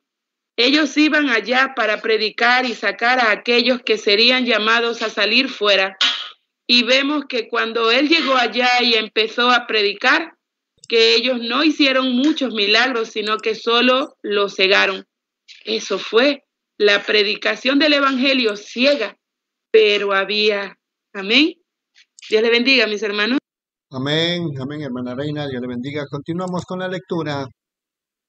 Mensaje Abraham restaurado, predicado en Long Beach, California, Estados Unidos, día 11 de febrero del año 1961. Voy a continuar en los párrafos 41. Dice, ahora recuerden que siempre hay tres clases. En el juicio nos damos cuenta que la novia regresa con Cristo. Está en Daniel. Miles de millares vinieron con el anciano de días. El juicio se estableció y los libros fueron abiertos y otro libro fue abierto el cual era el libro de vida. ¿Ven? Las vírgenes fatuas aparecen para el juicio, y el libro para el impío fue abierto, y él separó las ovejas de los cabritos, pero la iglesia raptada regresó con él. Jesús viene tres veces. Él vino primero a redimir a su novia. Él viene la segunda vez a arrebatarle a ella. Él viene la tercera vez con ella. Él viene a redimir a su novia, a recibir a su novia y a regresar él y su novia como rey y reina sobre la tierra, para sentarse en el trono de David, su padre. 42. Y ahora, nosotros sabemos que todo el tiempo hay tres clases de gente. Nos fijamos en eso hoy en día. Ha habido luteranos, metodistas, pentecostales. Está el pecador, el impío, la virgen fatua y la virgen verdadera. Siempre hay... Ahora, nos damos cuenta que estaban los sodomitas. Allí estaba Lot, la iglesia tibia. Y ahí estaba Abraham, que se había separado de ellos y que estaba viviendo aparte. Ahora, la mismísima palabra iglesia significa separación. Israel era el pueblo de Dios hasta que ellos salieron al desierto y al ser llamados a salir fuera fueron entonces a la, iglesia de Dios. Iglesia significa llamado a salir fuera. Perdón puestos aparte, y Abraham era la iglesia elegida, Lot era la virgen fatua o la iglesia formal, y luego estaba el pecador, el sodomita. Párrafo 43. Ahora, fíjense bien, el sodomita y los formales allá, Lot en su condición formal. Ahora, él era un buen hombre, sin duda, la Biblia dice que los pecados de la ciudad afligían su alma justa. Pero allá estaba la iglesia elegida, llamada predestinada por Dios. Abraham, llamado cuando él tenía 75 años de edad, se le dio una promesa, dejando que la prueba la asegurara. Esperen hasta que lleguemos un poquito más adelante aquí, en donde él aseguró completamente. Muy bien. Le dijo tocante al hijo que él iba a tener, y Abraham no dudó de la promesa de Dios. No importaba cuántos dólares extra hubiera allá y cuán rico él pudiera ser en Sodoma y lo que él pudiera hacer. Él se quedó con Dios, guardó la promesa. Esa es la iglesia elegida. Hay algunos de ellos en los metodistas, algunos en los bautistas, algunos en los pentecostales. La iglesia elegida será llamada a salir fuera de todos los grupos. Correcto, esa es la que oye la voz. 44. Cuando Jesús vino, el Señor Jesucristo, ¿por qué no lo reconocieron? Ellos no lo reconocieron hasta que ya era muy tarde. Ellos nunca conocieron que Eliseo era el profeta de Dios. Bueno, ellos enviaron a sus hijos allá para molestarlos. Le llamaron calvo, porque él perdió su cabello cuando era joven. Ellos no sabían nada. Ellos no creían que él era profeta. Seguro que ellos no lo creían, nunca lo creen. No dijo Jesús, ustedes paredes blanqueadas, ustedes, ustedes pulen las tumbas de los profetas y ustedes son los que los pusieron allí. Miren a Jeremías, a Isaías, a cualquiera de los profetas. Ellos no lo reconocieron hasta que todo había terminado. Y cuando Juan vino, ellos no sabían lo que Jesús mismo dijo. Ese fue el Elías del que se habló y ellos hicieron con él todo lo que hicieron hacer. Y aún los discípulos no sabían que era, que Juan era ese Elías. Y cuando vino Jesús, ellos no sabían que él era Jesús. Ellos no reconocieron que él era el Cristo. Pero aquellos que fueron ordenados a vida eterna, dice, soy en mi voz, ellos lo reconocieron. 45. Sigamos adelante. San Patricio. Ustedes, gente católica que lo llaman católico, yo quisiera que ustedes me lo pudieran probar por la historia. Él no era católico. Él protestó al obispo de Roma. Eso es exactamente correcto. Su escuela está allá en el norte de Irlanda. Él no creía en eso de que un hombre controlara. Él creía en que el Espíritu Santo controlara. Sí, Señor. Él también creía en el bautismo del Espíritu Santo y en hablar en lenguas y, y en el poder del Espíritu. San, San, que estaba tratando de decir yo, Colombo hizo la misma cosa. San Martín hizo la misma cosa. Ireneo la misma cosa. Todos ellos creían en el poder de Dios, en sanidad divina y en el poder del Espíritu Santo, todos esos santos de las edades tempranas. Luego ellos tuvieron un montón de obispos que eran almidonados y que querían formar una organización y que ellos organizaron la iglesia. y conglomeraron junto al pecado y algunas supersticiones de la iglesia y formaron su organización. De eso provino la madre organización. De eso provino que eh, de eso provino cada una de las demás. Lean Apocalipsis 17 y vean si no es así. La madre ramera y sus hijas eran prostitutas. ¿Qué es una ramera sino una prostituta? Es la misma cosa. ¿Cómo sucede eso? Cometiendo fornicaciones espirituales contra el Padre verdadero, el esposo verdadero, tomando doctrinas hechas por el hombre y credos, tomando a la gente, haciéndola formal, metiéndola en una adoración formal. Nosotros adoramos a Dios en espíritu y en verdad. Dios busca a tales adoradores. Sí, seguro que así es. 46. Ahora, nos damos cuenta que Abraham, que Abraham se quedó allá. Él era elegido, una iglesia llamada a salir fuera. Y recuerden, el hombre que estaba en carne humana, el hombre comió la carne de un becerro, bebió la leche de la vaca, él bebió pan y comió, mejor dicho, comió con pan con mantequilla, bebió la leche de la vaca. Y Abraham lo llamó Dios. Miren, tomen, miren las traducciones y síganlas, dense cuenta que sí es correcto. Elohim, Dios, Ahora, yo quiero que ustedes se fijen que eso estaba representando algo, algo que queremos estar seguros que ustedes lo vean. Ahora, fíjese, entonces nos damos cuenta que cuando los dos hombres fueron allá, los predicadores fueron allá a predicar, los dos ángeles fueron allá a predicar a Sodoma. Ellos nunca hicieron esto. Esta cosa, esta señal, ellos fueron allá y mostraron la señal de ellos de que habían llegado para sacarlos a ellos fuera pero no era la misma señal que recibió la iglesia elegida.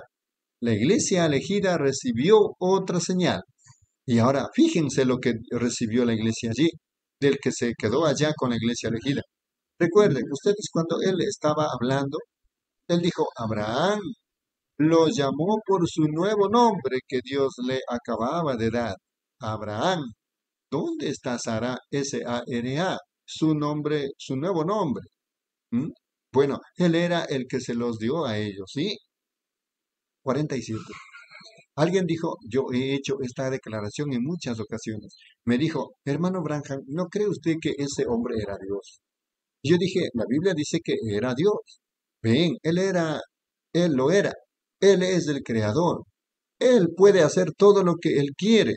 Él solo recogió algo de petróleo y luz cósmica y calcio y potasio y hermano Branham sopla. Sopló en eso y entró en el cuerpo y fue allá. Eso es exactamente de la manera que Él lo hizo. Él creó ángeles allí de la misma manera. Él puede hacer la misma cosa. ¿De dónde venimos, provenimos? ¿Quién hizo la tierra?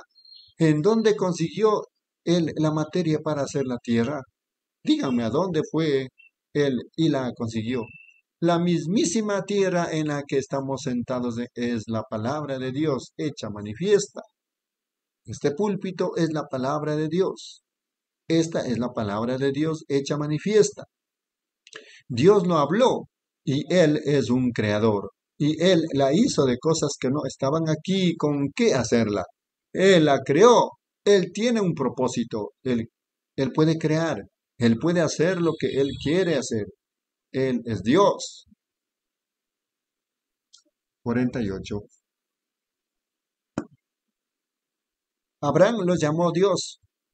Eso es lo que él era. Abraham bebió, debió saber, él habló con él. Todavía su vida había estado hablando con él. Me imagino que él debía saber quién era él. Seguro.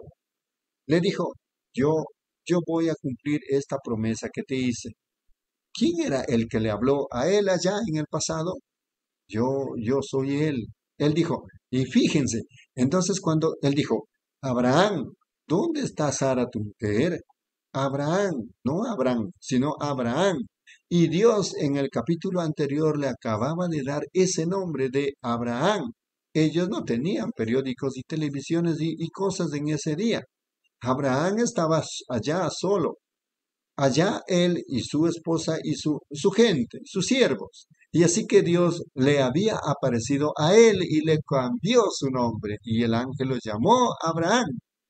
Dios cambió el nombre de Sarai a Sara. y la llamó Sara. ¿Dónde está Sara tu mujer? ¿Cómo supo él que aún él estaba casado? ¿Cómo supo él, siendo un extranjero, que su nombre era Abraham? ¿Cómo supo él que él cambió su nombre de Abraham a Abraham? ¿Cómo supo que él le, él le cambió Sara a Sara? ¿Y cómo, o de Sara y a Sara? ¿Cómo supo él estas cosas? 49. Y Abraham dijo, ella está en la tienda detrás de ti, allá atrás. Él dijo, te voy a visitar, Abraham. En otras palabras, yo te prometí que te iba a dar ese hijo y tú has creído mi palabra. Ahora yo te voy a visitar de acuerdo al tiempo de la vida y tú vas a tener ese bebé. Y miren, Sara, escuchando escondidas allá atrás, ella dijo entre sí, ella dijo entre sí, ahora recuerden dentro de su corazón. ¿Tendría yo deleite siendo yo una mujer vieja de 90 años, una abuela, una tatarabuela y mi esposo siendo viejo? Mi señor allá afuera, él está viejo, tiene 100 años de edad y yo tengo 90 años de edad y yo seré como una mujer joven otra vez. Ella pensó, eso es chistoso. Y se rió. Y el ángel dijo, ¿por qué se rió Sara? Y no solo eso, sino que él dijo, repitió las palabras a Abraham de lo que Sara pensó en su corazón. Él dijo, dijo, ¿cómo será? Amén. Ahí lo tienen ustedes, sentado con su espalda vuelta hacia la tienda. Entonces Sara verdaderamente se asustó. Ella vio lo que ella había hecho. ¿Por qué se rió Sara diciendo en su corazón, ¿cómo podré tener deleite con mi esposo otra vez? Pero sus palabras fueron confirmadas. Él era Dios. Párrafo 50 por último. Ahora, ¿qué era eso? Ahora, Jesús se refirió a esa misma cosa y él dijo, ¿cómo fue en los días de los, así será en la venida del Hijo del Hombre. Ahora fíjense, ¿por qué no sabes y vas a esos grandes centros importantes? No fue enviado a esos centros importantes. A la iglesia elegida, allí es a donde fue enviado. Aquellos nunca lo van a creer. Yo lo supe estando parado aquí la noche cuando yo estaba teniendo ese discernimiento la otra noche y siento ahorita que hay muchos aquí que no creen eso. No me digan que no. Yo los puedo nombrar, ¿correcto? No me digan que no. Correcto, correcto. Yo sé sus enfermedades. Dios me puede decir aquí mismo sus enfermedades. Seguro que sí. Y yo lo siento. ¿Por qué están tratando de jugar el papel de un hipócrita al respecto? ¿Por qué no son los que ustedes verdaderamente son? Una cosa tienen. Ustedes tienen miedo. Y no los culpo. Si dijera alguna palabra contra él, nunca será perdonado. Pero yo quiero que ustedes sepan que las escrituras no es mistismo misticismo, perdón. Como algunos de ustedes predicadores piensan que es, no, es telepatía. Dios tenga misericordia del alma pecaminosa de ustedes. Ustedes no necesitan un púlpito, ustedes necesitan un altar, correcto. Enmiéndense con Dios. Recuerden, si dijera alguna palabra contra Él, nunca será perdonado ni en este siglo ni en el venidero. Ahora, ustedes dicen, yo no soy, no me digan quiénes son ustedes. Yo sé, ven, sí, Señor. Así que escuchen, yo solo los estoy advirtiendo. Recuerden, Dios prometió que eso sucedería. Amén. Gloria a Dios. Estamos lecturando este glorioso mensaje titulado Abraham restaurado, predicado en Long Beach, California, Estados Unidos, día 11 de febrero del año 1961. Para iniciar, hermana di por favor, en los párrafos 51 al 60. Dios les bendiga, hermanos y hermanas. Continuando con la lectura del mensaje, Abraham restaurado. Párrafo 51. Fíjense, él dijo, fíjense bien, ¿qué era eso? Dios en carne humana, y Dios mismo se iba a representar otra vez en forma humana justo antes de la venida del Hijo del Hombre. ¿En cuál carne? En la carne de ustedes, en la carne mía. Dios descendiendo del cielo, Dios anhelando compañerismo, como la gente. Parece ser que hay tanta teología mental tocante a ello, que ustedes fallan en captar el discernimiento del Espíritu. Como un hombre me estaba tratando de decir el otro día tocante a que eran tres dioses, el Padre, el Hijo y el Espíritu Santo. El Padre es una dispensación del Padre. No eran tres dioses, son tres oficios del mismo Padre. El oficio del Padre, el oficio del Hijo, el oficio del Espíritu Santo. El mismo Dios en cada uno. Ustedes no tienen que tener un concilio de Nicea para eso. Es Dios, el mismo Dios siempre, un solo Dios. Él estaba en el oficio del Padre. Esa es la razón que Mateo dice, bautízalos en el nombre del Padre, Hijo y Espíritu Santo. No son tres dioses, es un Dios en tres oficios. Padre, Hijo y Espíritu Santo. Tres atributos. Seguro que sí. Él estaba en la columna de fuego como Dios, Jehová. Él nadie lo podía tocar a él. El pecado estaba muy lejos de él. Él no se podía acercar a ellos. Entonces él vino y le hizo sombra a una virgen. Creó una célula de sangre en su vientre. El Hijo nació, Jesús, con un cuerpo santo, ni gentil ni judío. La propia sangre de Dios y luego el gran Espíritu Santo descendió del cielo. El Espíritu de Dios como en forma de una paloma, descendiendo y entró en él. Este es mi Hijo amado, correctamente en la traducción, correcta, en quien tengo complacencia habitar. Mi Padre habita en mí. Pregunten a cualquier buen traductor de la escritura y desen cuenta si no es así en el hebreo. Sí, Señor, en quien tengo complacencia habitar.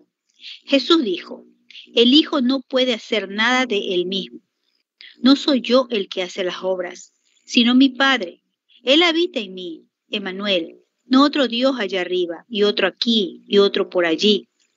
Eso es paganismo. Es un solo Dios en tres oficios.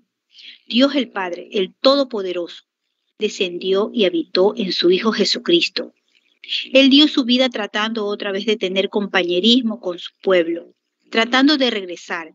Nadie podía pagar el precio, todos eran pecadores. Y su propio Hijo fue hecho pecado por nosotros para quitar nuestros pecados. Y eso permitiría al mismo Padre Dios, en la forma del Espíritu Santo, descender y habitar, habitar en nosotros, y obrar por medio de nosotros, como Él lo hizo con su Hijo que fue creado. Amén. Ahí está la verdad para ustedes. 53. Ustedes tienen un solo lado del camino aquí que dice, Dios es uno, como el dedo de usted es uno. Él no puede ser su propio Padre. Los tiene aquí diciendo, Él es tres dioses diferentes. Bueno, si Él es tres dioses diferentes, entonces Dios el Espíritu Santo y Dios el Padre son dos diferentes personas y entonces la Virgen concibió por el Espíritu Santo. ¿Cuál de ellos fue su Padre? Tiene un solo Padre, el Espíritu Santo, y Dios son el mismo Espíritu. Eso es correcto. Entonces en eso, oh, no es misterioso. Si él tuvo, sí, si un hombre fuera, si dos fueron su padre, entonces él de seguro es espiritualmente un hijo bastardo. ¿Ven? Todo está enredado, no tiene sentido. La única cosa es que el hombre lo trató de entender con su cabeza en lugar de dejar que su corazón fuera a Dios. Y Dios les revelará esas cosas a ellos, si solo le permitieran a él hacerlo. Sí, Señor. Él no puede ser su propio Padre. Jesús no pudiera ser él solo Jesús. Él solo un Dios. Todo de esa manera. Él fue creado por Dios el Padre, correcto. Y Dios el Padre habitó en él para que él pudiera usar su sangre para la santificación y para que limpiara su iglesia con ese mismo espíritu para poder vivir en su iglesia, para hacer las obras y las señales y cumplir la escritura que él prometió en los últimos días como fue en los días de Sodoma, así será en la venida del Hijo del Hombre. 54. Eso es, aprendiendo lo que alguien más. ¿Qué le dijo Jesús a Pedro? Bienaventurado eres tú, Simón, hijo de Jonás. Tú nunca aprendiste esto en el seminario. No te lo reveló carne ni sangre, sino mi Padre que está en los cielos te lo ha revelado. Y sobre esta roca edificaré mi iglesia, y las puertas del Hades no prevalecerán contra ella. Esa es la razón que Él le dio las llaves. Él tenía la revelación. Es verdad revelada. en las esas esas cositas sobre las que ellos disputan y ellos mismos se separan, muestra que no es de Dios o ellos no se separarían de esa manera, porque no se unen y sean hermanos y hermanas. Permitan que el poder de Dios obre entre ustedes. Eso hará que todo salga bien. Dios es el tutor de la iglesia, el Espíritu Santo, correcto. Ustedes no tienen que emplear toda su vida solo tratando de aprender algo así. La mejor cosa que ustedes deben saber es que son salvos y empiecen a caminar con Dios. Lo que Él quiere que ustedes sepan, Él se los revelará. 55. Allí estaba Dios Todopoderoso, hecho carne, en una conmemoración en la que Él, Jesús dijo, todavía un poco y el mundo no me verá, pero vosotros me veréis porque estoy con vosotros, aún en vosotros, en vosotros, hasta la consumación, hasta el fin del mundo. Jesucristo es el mismo ayer, hoy y por los siglos. Él está aquí, escrito obrando en ustedes y en mí y en el resto de nosotros, tratando de juntar toda su palabra para confirmar y cumplir su palabra. Porque Jesús sanó a los enfermos en Mateo 12, o mejor dicho Mateo 8. Creo que es. Él dijo, para que se cumpliese lo dicho por el profeta, la palabra de Dios necesita ser cumplida. Esta es la hora. Ellos lo llaman telepatía, ellos lo llamaron la misma cosa en aquel entonces, un demonio. Él dijo, es imperdonable llamarle eso al Espíritu de Dios que está obrando una cosa como esa. Yo quiero que ustedes piensen tocante a eso antes que hagan sus decisiones. Hay un nuevo ministerio que Dios ha confirmado y nosotros sabemos que es la verdad de Dios, pero de una manera u otra no funciona aquí en, en América, obra en otros lugares. Miren, es mayor que lo que tenemos aquí. Pero ven ustedes, nosotros, nosotros hemos renunciado a nuestro día de gracia por el pecado. Eso es todo lo que es. Yo predije eso en 1956 y he sido de esa manera desde entonces, constantemente cayendo, ¿ven? Pero Dios sí sacará a esa iglesia elegida. Él está, Él está obligado a hacerlo. Él dijo que Él lo haría. 56. Ahora miren a ese ángel con su espalda vuelta hacia la tienda. ¿Qué le dijo a Sara respecto a lo que ella estaba pensando? Si eso no es la palabra de Dios, yo no lo sé. La Biblia dice en Hebreos 4 que la palabra de Dios es más cortante que toda espada de dos filos y aún discierne los pensamientos del corazón y la mente. Correcto. Discierne.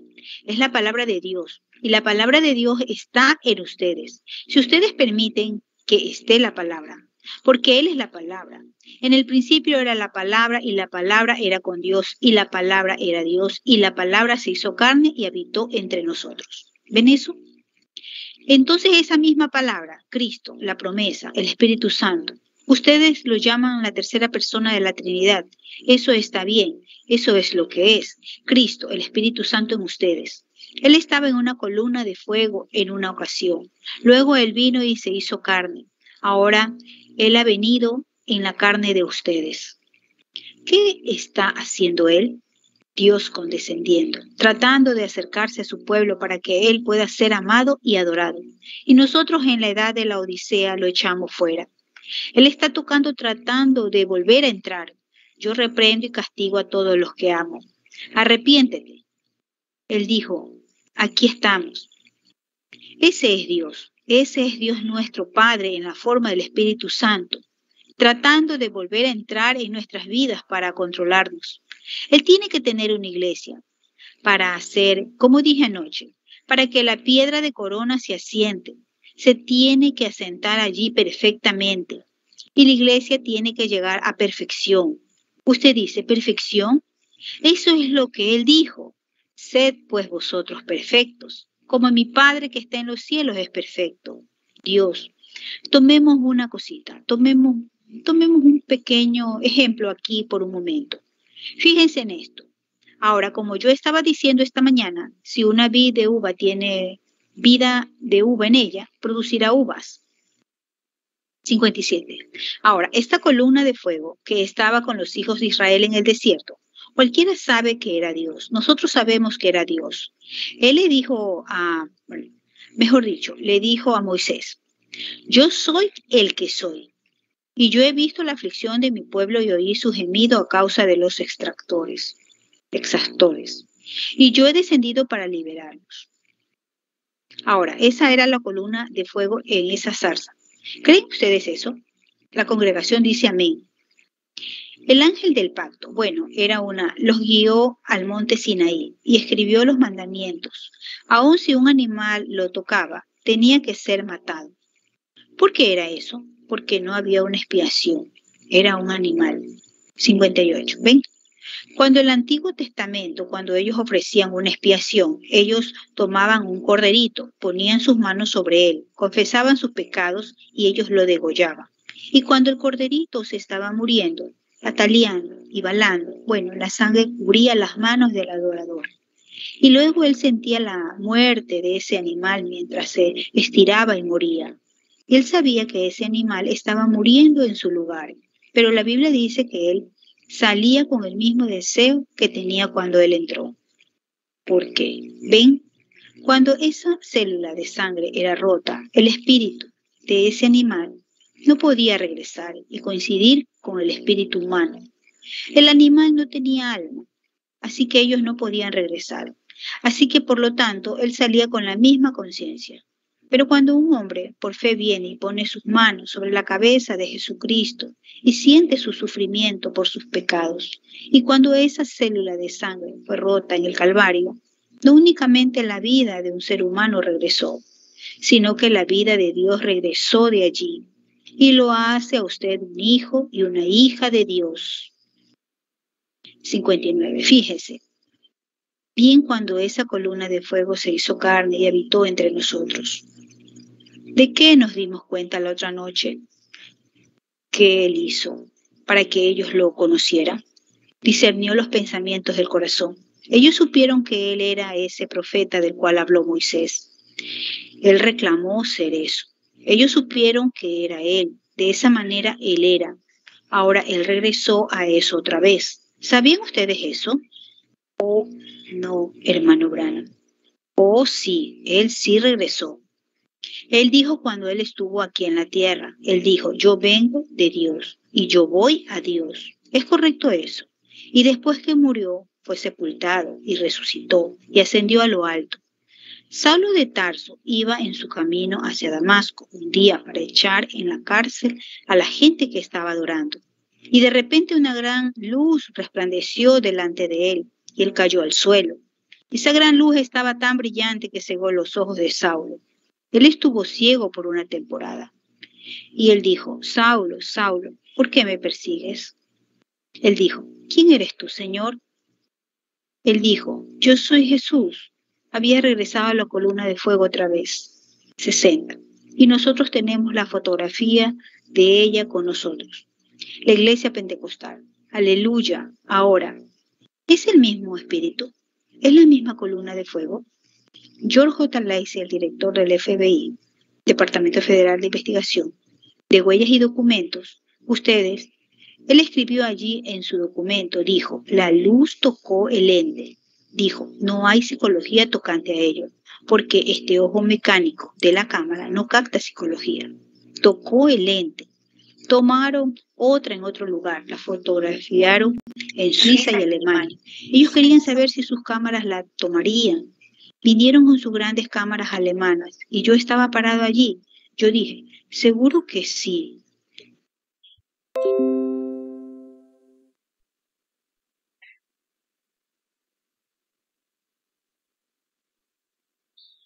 Estaba tomando su fotografía, la estaba tomando. Y cuando las tomó, mostró al Espíritu Santo descendiendo. Mostró cuando mostró al hombre allí con su cuello volteado al revés. Y yo le dije a él, por el Espíritu, usted está parado allí como un sacerdote, pero usted no es un sacerdote, usted ni siquiera es alemán. Yo dije, usted es italiano, usted es un líder de 20.000 comunistas, usted se metió con un grupo, usted tiene un pequeño orfanato arriba en las montañas, usted no comió su desayuno porque tiene un problema en el estómago. Eso es, así dice el Señor. Yo dije, coma su desayuno. Jesucristo lo sana. Y él se sentó y empezó a comer tan rápido como podía, llorando. Y ellos tomaron la fotografía del Espíritu Santo descendiendo, cuando ascendió, cuando estaba ungiendo. Y cuando se fue, allí en pleno día, parado yo allí, ¿qué es? No es psicología. ¿Está usted tan alejado de Dios, mi hermano? No es psicología. La cámara sabe más tocante a ello que lo que usted sabe. Amén. Dios le bendiga, hermanos. Amén, hermana Dios le bendiga la lectura.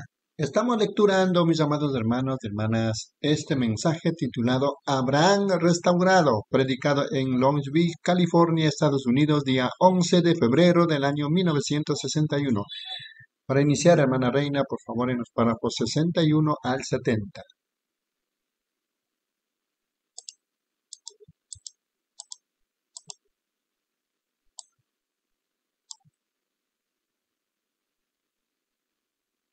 Amén.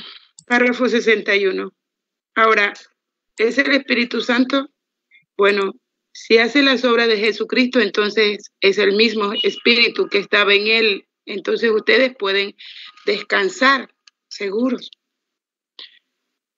Ustedes quienes creen en Dios y creen que tienen el Espíritu Santo, que ese es el mismo Espíritu Santo porque está haciendo la misma cosa que hizo cuando estaba en el verdadero Hijo de Dios. Cuando Él viene sobre hijos e hijas por adopción, hace la misma cosa que Él hizo allá. Si yo les dijera que tengo el espíritu de Juan Dillinger, ustedes esperarían que tuviera dos pistolas grandes, si yo tuviera su espíritu. Si yo tuviera el espíritu de un artista, ustedes esperarían que pintara cuadros de las olas allá, captar esas olas hermosas y pintarlas.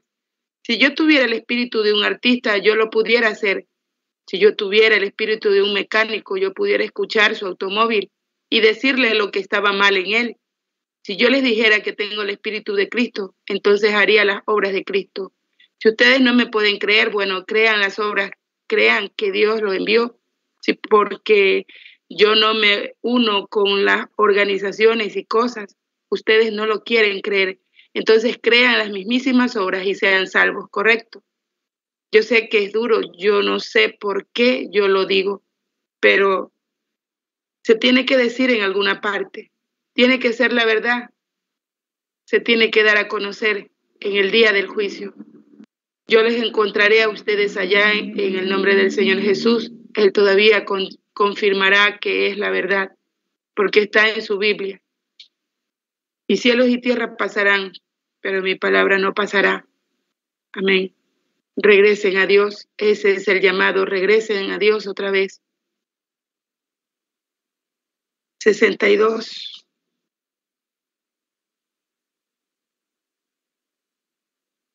Abraham lo llamó Elohim, volvió su espalda. Les muestra a ustedes lo que Dios hizo en aquel entonces, porque Abraham reconoció que ese era Dios en carne humana, habitando ahí mismo con él, hablando con él. Jesús dijo, en otras palabras, él dijo, ¿saben ustedes lo que el ángel del Señor hizo allá en Sodoma? Miren lo que los sodomitas estaban haciendo. Ellos estaban comprando y edificando, oh, hermanos, contratistas por todo el país, edificando. ¿Han visto ustedes alguna vez un tiempo como este? Yo ya ni siquiera puedo ir a cazar conejos en donde yo vivo. Todo es proyectos de construcción de casas en donde estaban las granjas. Yo no sé lo que vamos a hacer para comer. ¿Ven? Edificando, edificando. Eso es exactamente lo que dijo Jesús que sucedería. Lo dijo él. La congregación dice sí. Se estaban casando y dándose en casamiento como en los días de Noé. Miren a Reno, Nevada, y miren aquí. 63. Le convendría más a esta nación si tuviera, si tuviera, vale más que no diga eso. Muy bien, pero de todas maneras le convendría más tener tres o cuatro esposas que yo preferiría pararme delante de Dios y estar casado con tres mujeres o casado con cinco mujeres paradas a mi lado que pararme allá con una sola esposa y saliendo con la mujer de otro hombre. Sí, Señor, yo tendría mejor oportunidad delante de Dios. Ustedes no pueden forzar a los pecadores que tomen una obligación de un cristiano y la cumplan ellos no la pueden cumplir hasta que nazcan de nuevo, ¿correcto? Estamos muy lejos de ser una nación cristiana. ¿Cómo podemos abrir cada licorería que está en esquina contrabandeando licor y hacer las cosas de la manera que las hacemos y luego llamarnos nosotros mismos cristianos? Eso no es ser cristiano. Igual que una puerca no sabe tocante a una silla para montar de lado. Bueno, ustedes no pueden llamar a eso cristianismo. Nosotros no somos una nación cristiana. No, Señor. Hay cristianos en esta nación, pero no es una nación cristiana. Yo le doy gracias a Dios por los cristianos que hay aquí. No todo el que me dice Señor, Señor harán, entrarán, sino el que hace la voluntad de mi Padre que está en los cielos. Ese es el que entra. 64. ¿Qué beneficio es estar a medias? ¿Qué beneficio es tener una iglesia tibia? ¿O es caliente o es fría? No reclamen el Pentecostés a menos que ustedes vivan en Pentecostés. No brinquen más alto de lo que viven, correcto. Es una vergüenza, causa deshonra sobre el resto de ellos. No es tanto las licorerías las que están dañando al incrédulo. Son esas personas que reclaman tener algo y actúan como el mundo. Esa es la piedra de tropiezo. Una iglesia que se supone estar en fuego por Dios y yendo por donde quiera llamando al mismísimo Espíritu de Dios que viene diciendo que es, es místico, que es telepatía, qué es todo esto, eso o lo otro, porque no pertenecemos a la organización de ellos. Se deberían de avergonzar. Dios tenga misericordia de sus almas pecaminosas.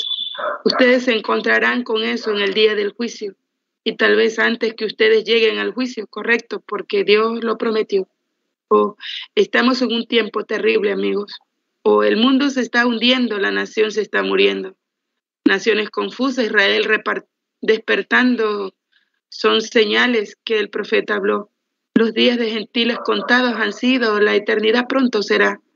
La redención cerca está, la humanidad teme ya, clama por su espíritu y se llenó de él.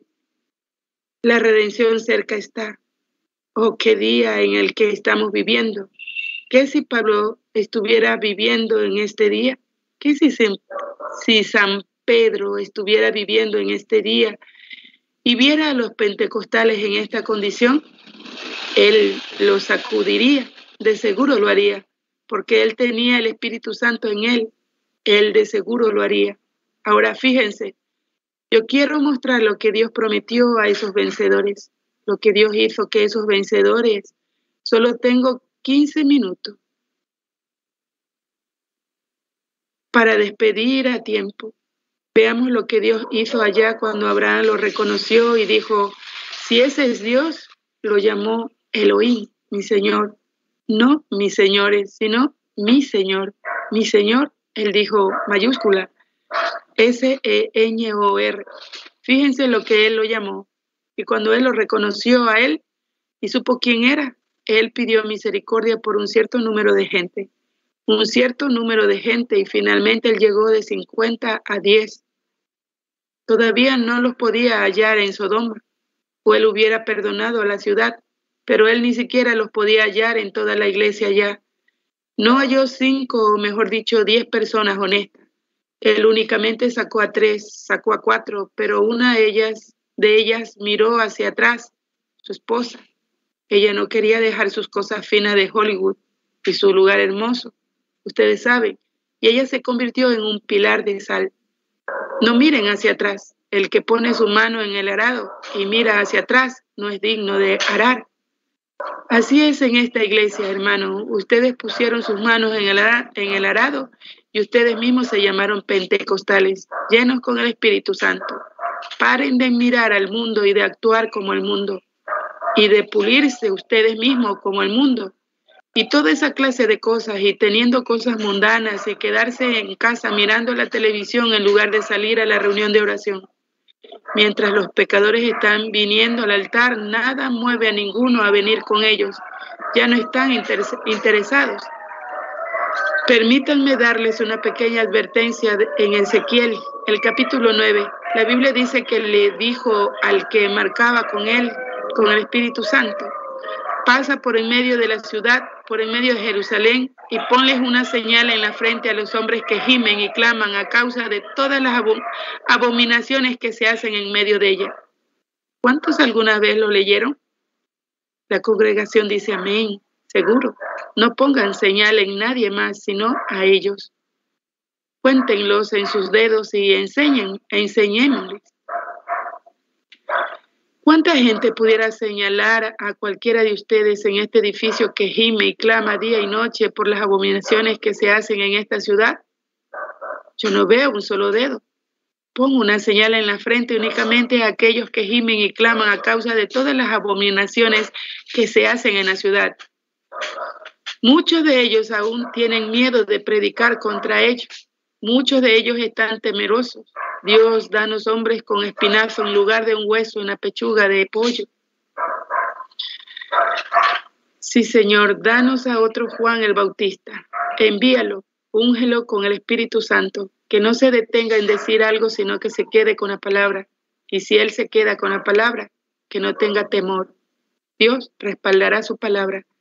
Yo he estado en toda clase de lugares difíciles, en donde se levantaron demonios y todo lo demás, yo los he visto ser cegados, tumbados y todo lo demás. No teman, quédense allí con la palabra y observen lo que Dios hace. Solo estén seguros que ustedes estén bien con Dios. Quédense con esa palabra y observen lo que sucede. Si el hermano Angabritz estuviera sentado cerca, él les pudiera contar la historia. Yo estaba pensando ahorita de cómo había 15 hechiceros en un lado y 15 en el otro lado, y llamaron una tormenta para que derrumbara la tienda en Suiza, o mejor dicho, creo que fue en Francia, en Alemania.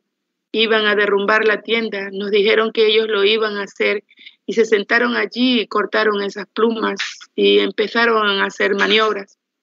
Padre, Hijo y Espíritu Santo. Padre, Hijo y Espíritu Santo.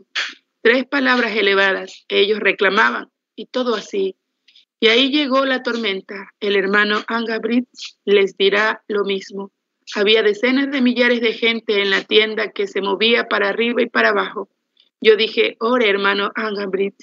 Yo dije, hermano Longster, no interprete esto. Yo dije, Padre Celestial, yo me bajé de ese avión aquí en el nombre de Jesucristo porque tú me enviaste aquí. Tú prometiste que tú me cuidarías. ¿Qué puedo hacer yo en un caso como este? Yo reprendo esta tormenta en el nombre de Jesucristo. En una fracción de segundo esa tormenta se dividió por encima de la tienda y se retiró. Los truenos se empezaron a retirar de esa manera y miles corrieron al altar para ser salvos. Y los brujos fueron derrotados. Ese hombre sentado en la reunión tratando de echarme uno de esos encantamientos para hacerme ladrar como un perro, para exhibirse allí, él no sabía estaba sentado allí y continuaba sintiendo ese espíritu raro.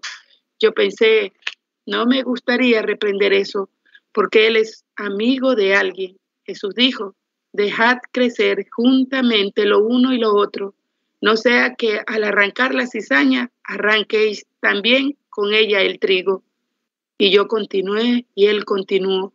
Después de un rato, el Espíritu Santo me continuó hablando y yo me di la vuelta y dije, tú, engañador, ¿por qué viniste a la reunión al servicio de Dios para tratar de engañar a alguien?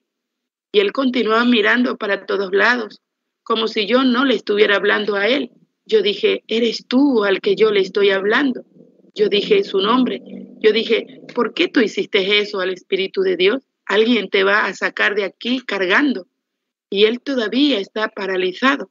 Me escribió una carta y decía, ¿qué debo hacer? Yo dije, arrepiéntase. Dijo, ven, quita esto de mí. Yo dije, yo no tengo, yo no tuve nada que ver con el hecho de que eso vino sobre usted. Se lo ocasionó usted mismo.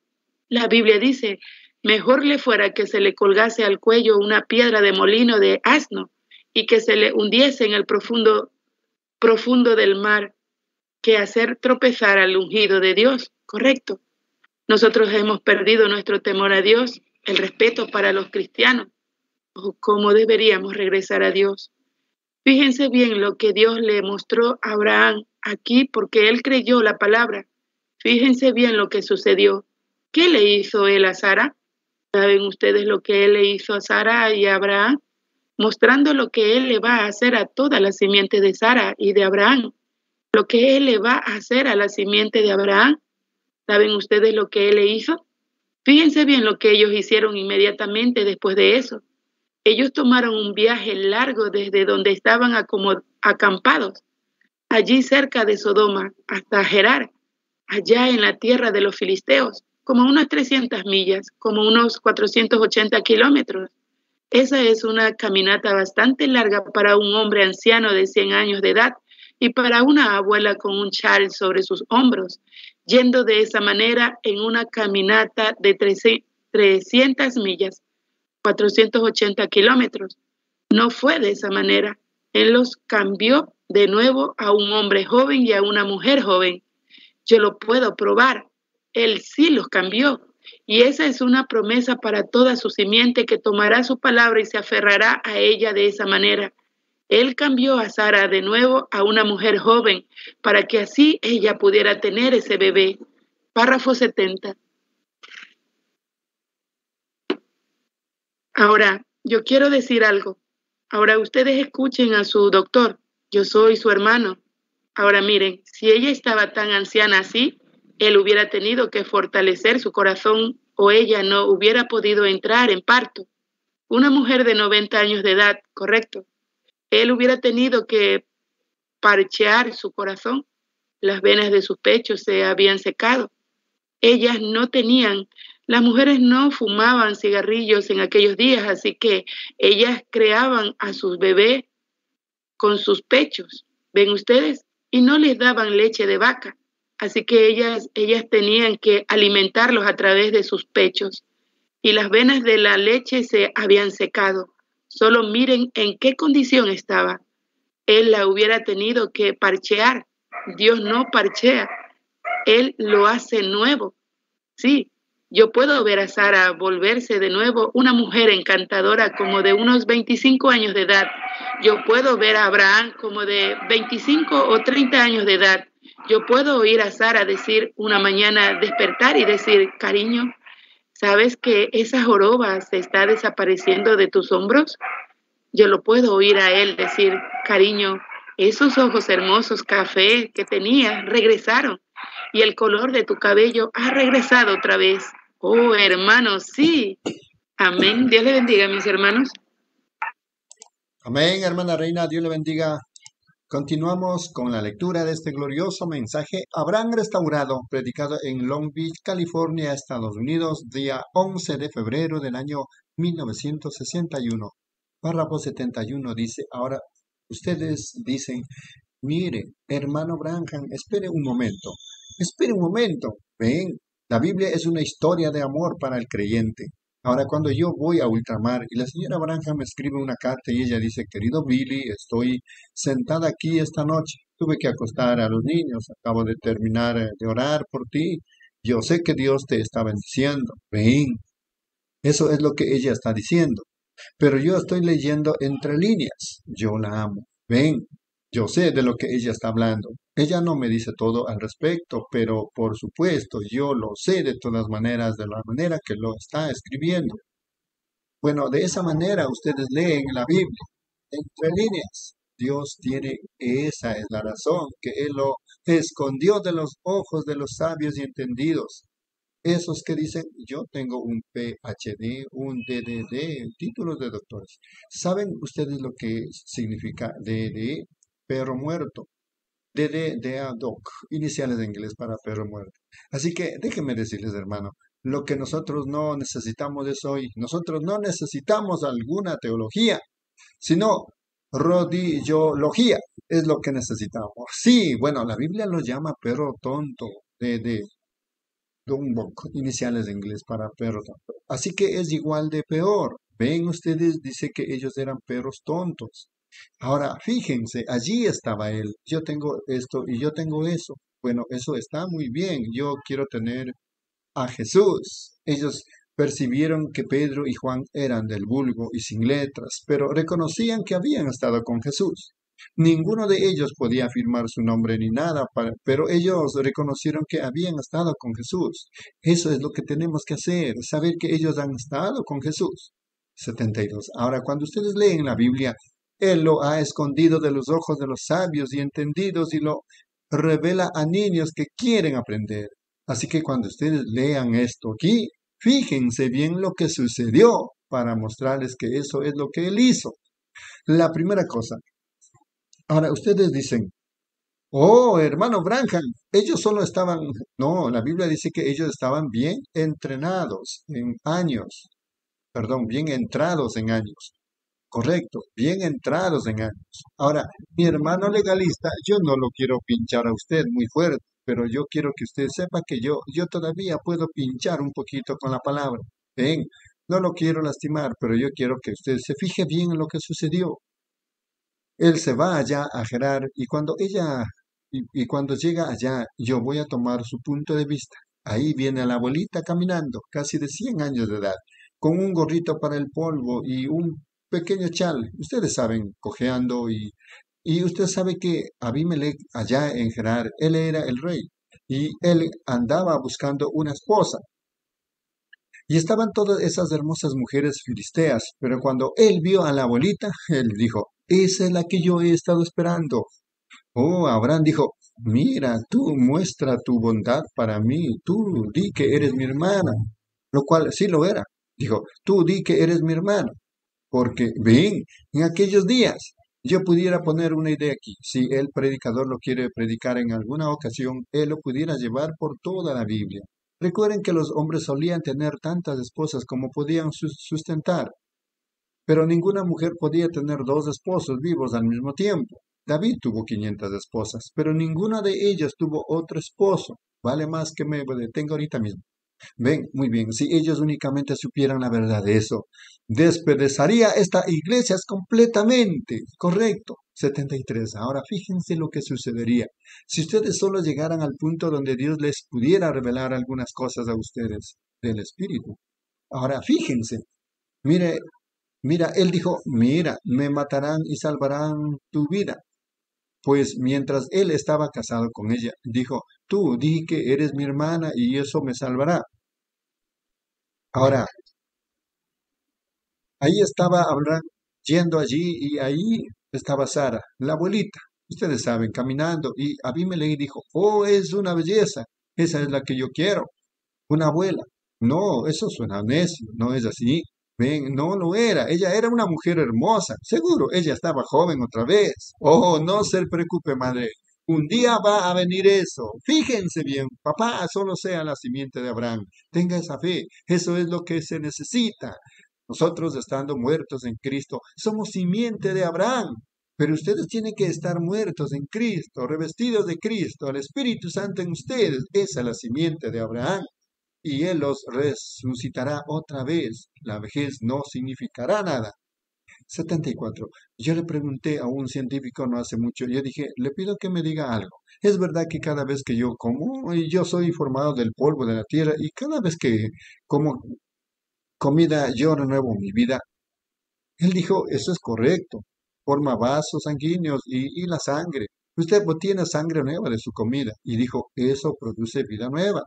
Y yo dije, usted sabe, cuando yo tenía 16 años de edad, yo comía la misma comida que yo como ahora.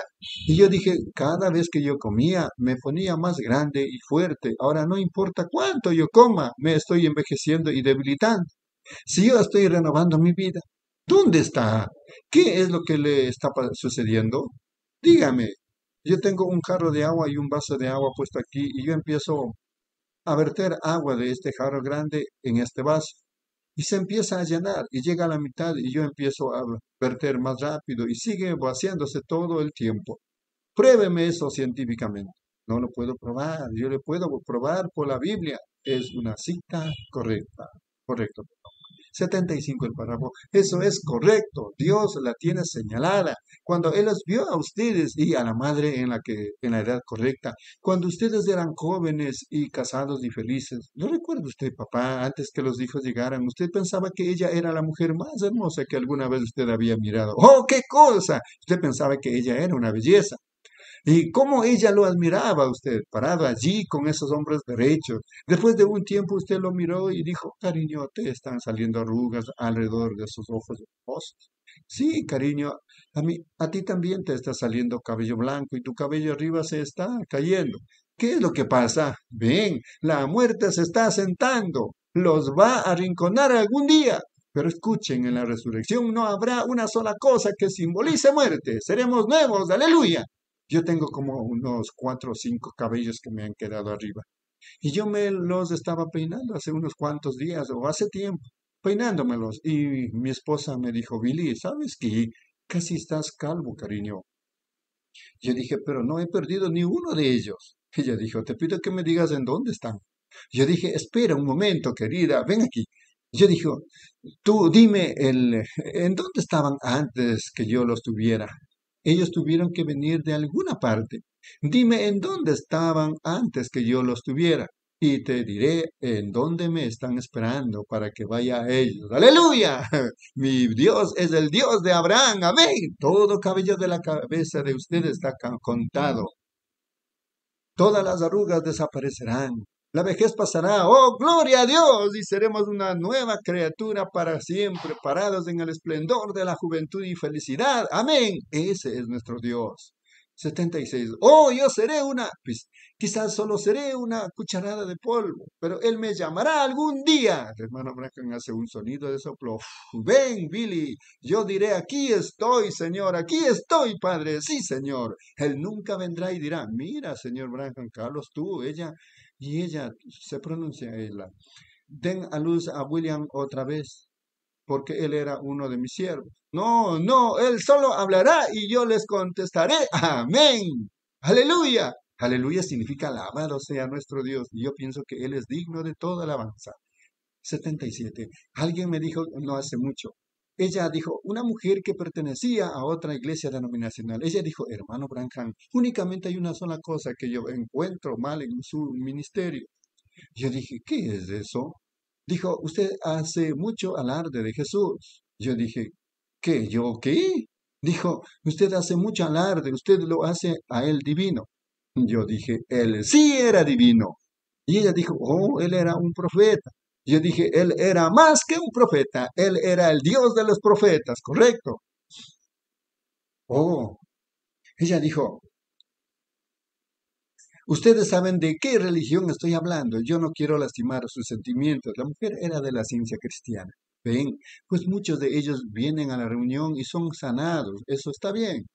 78 el párrafo. Ella dijo, bueno, él era, él era un buen hombre, yo creo que él era un profeta. Y yo dije, oh, él era Dios, o era el engañador más grande que el mundo alguna vez tuvo. Él era Dios mismo. Y ella dijo, yo le probaré por su propia Biblia. Usted dijo que era un fundamentalista.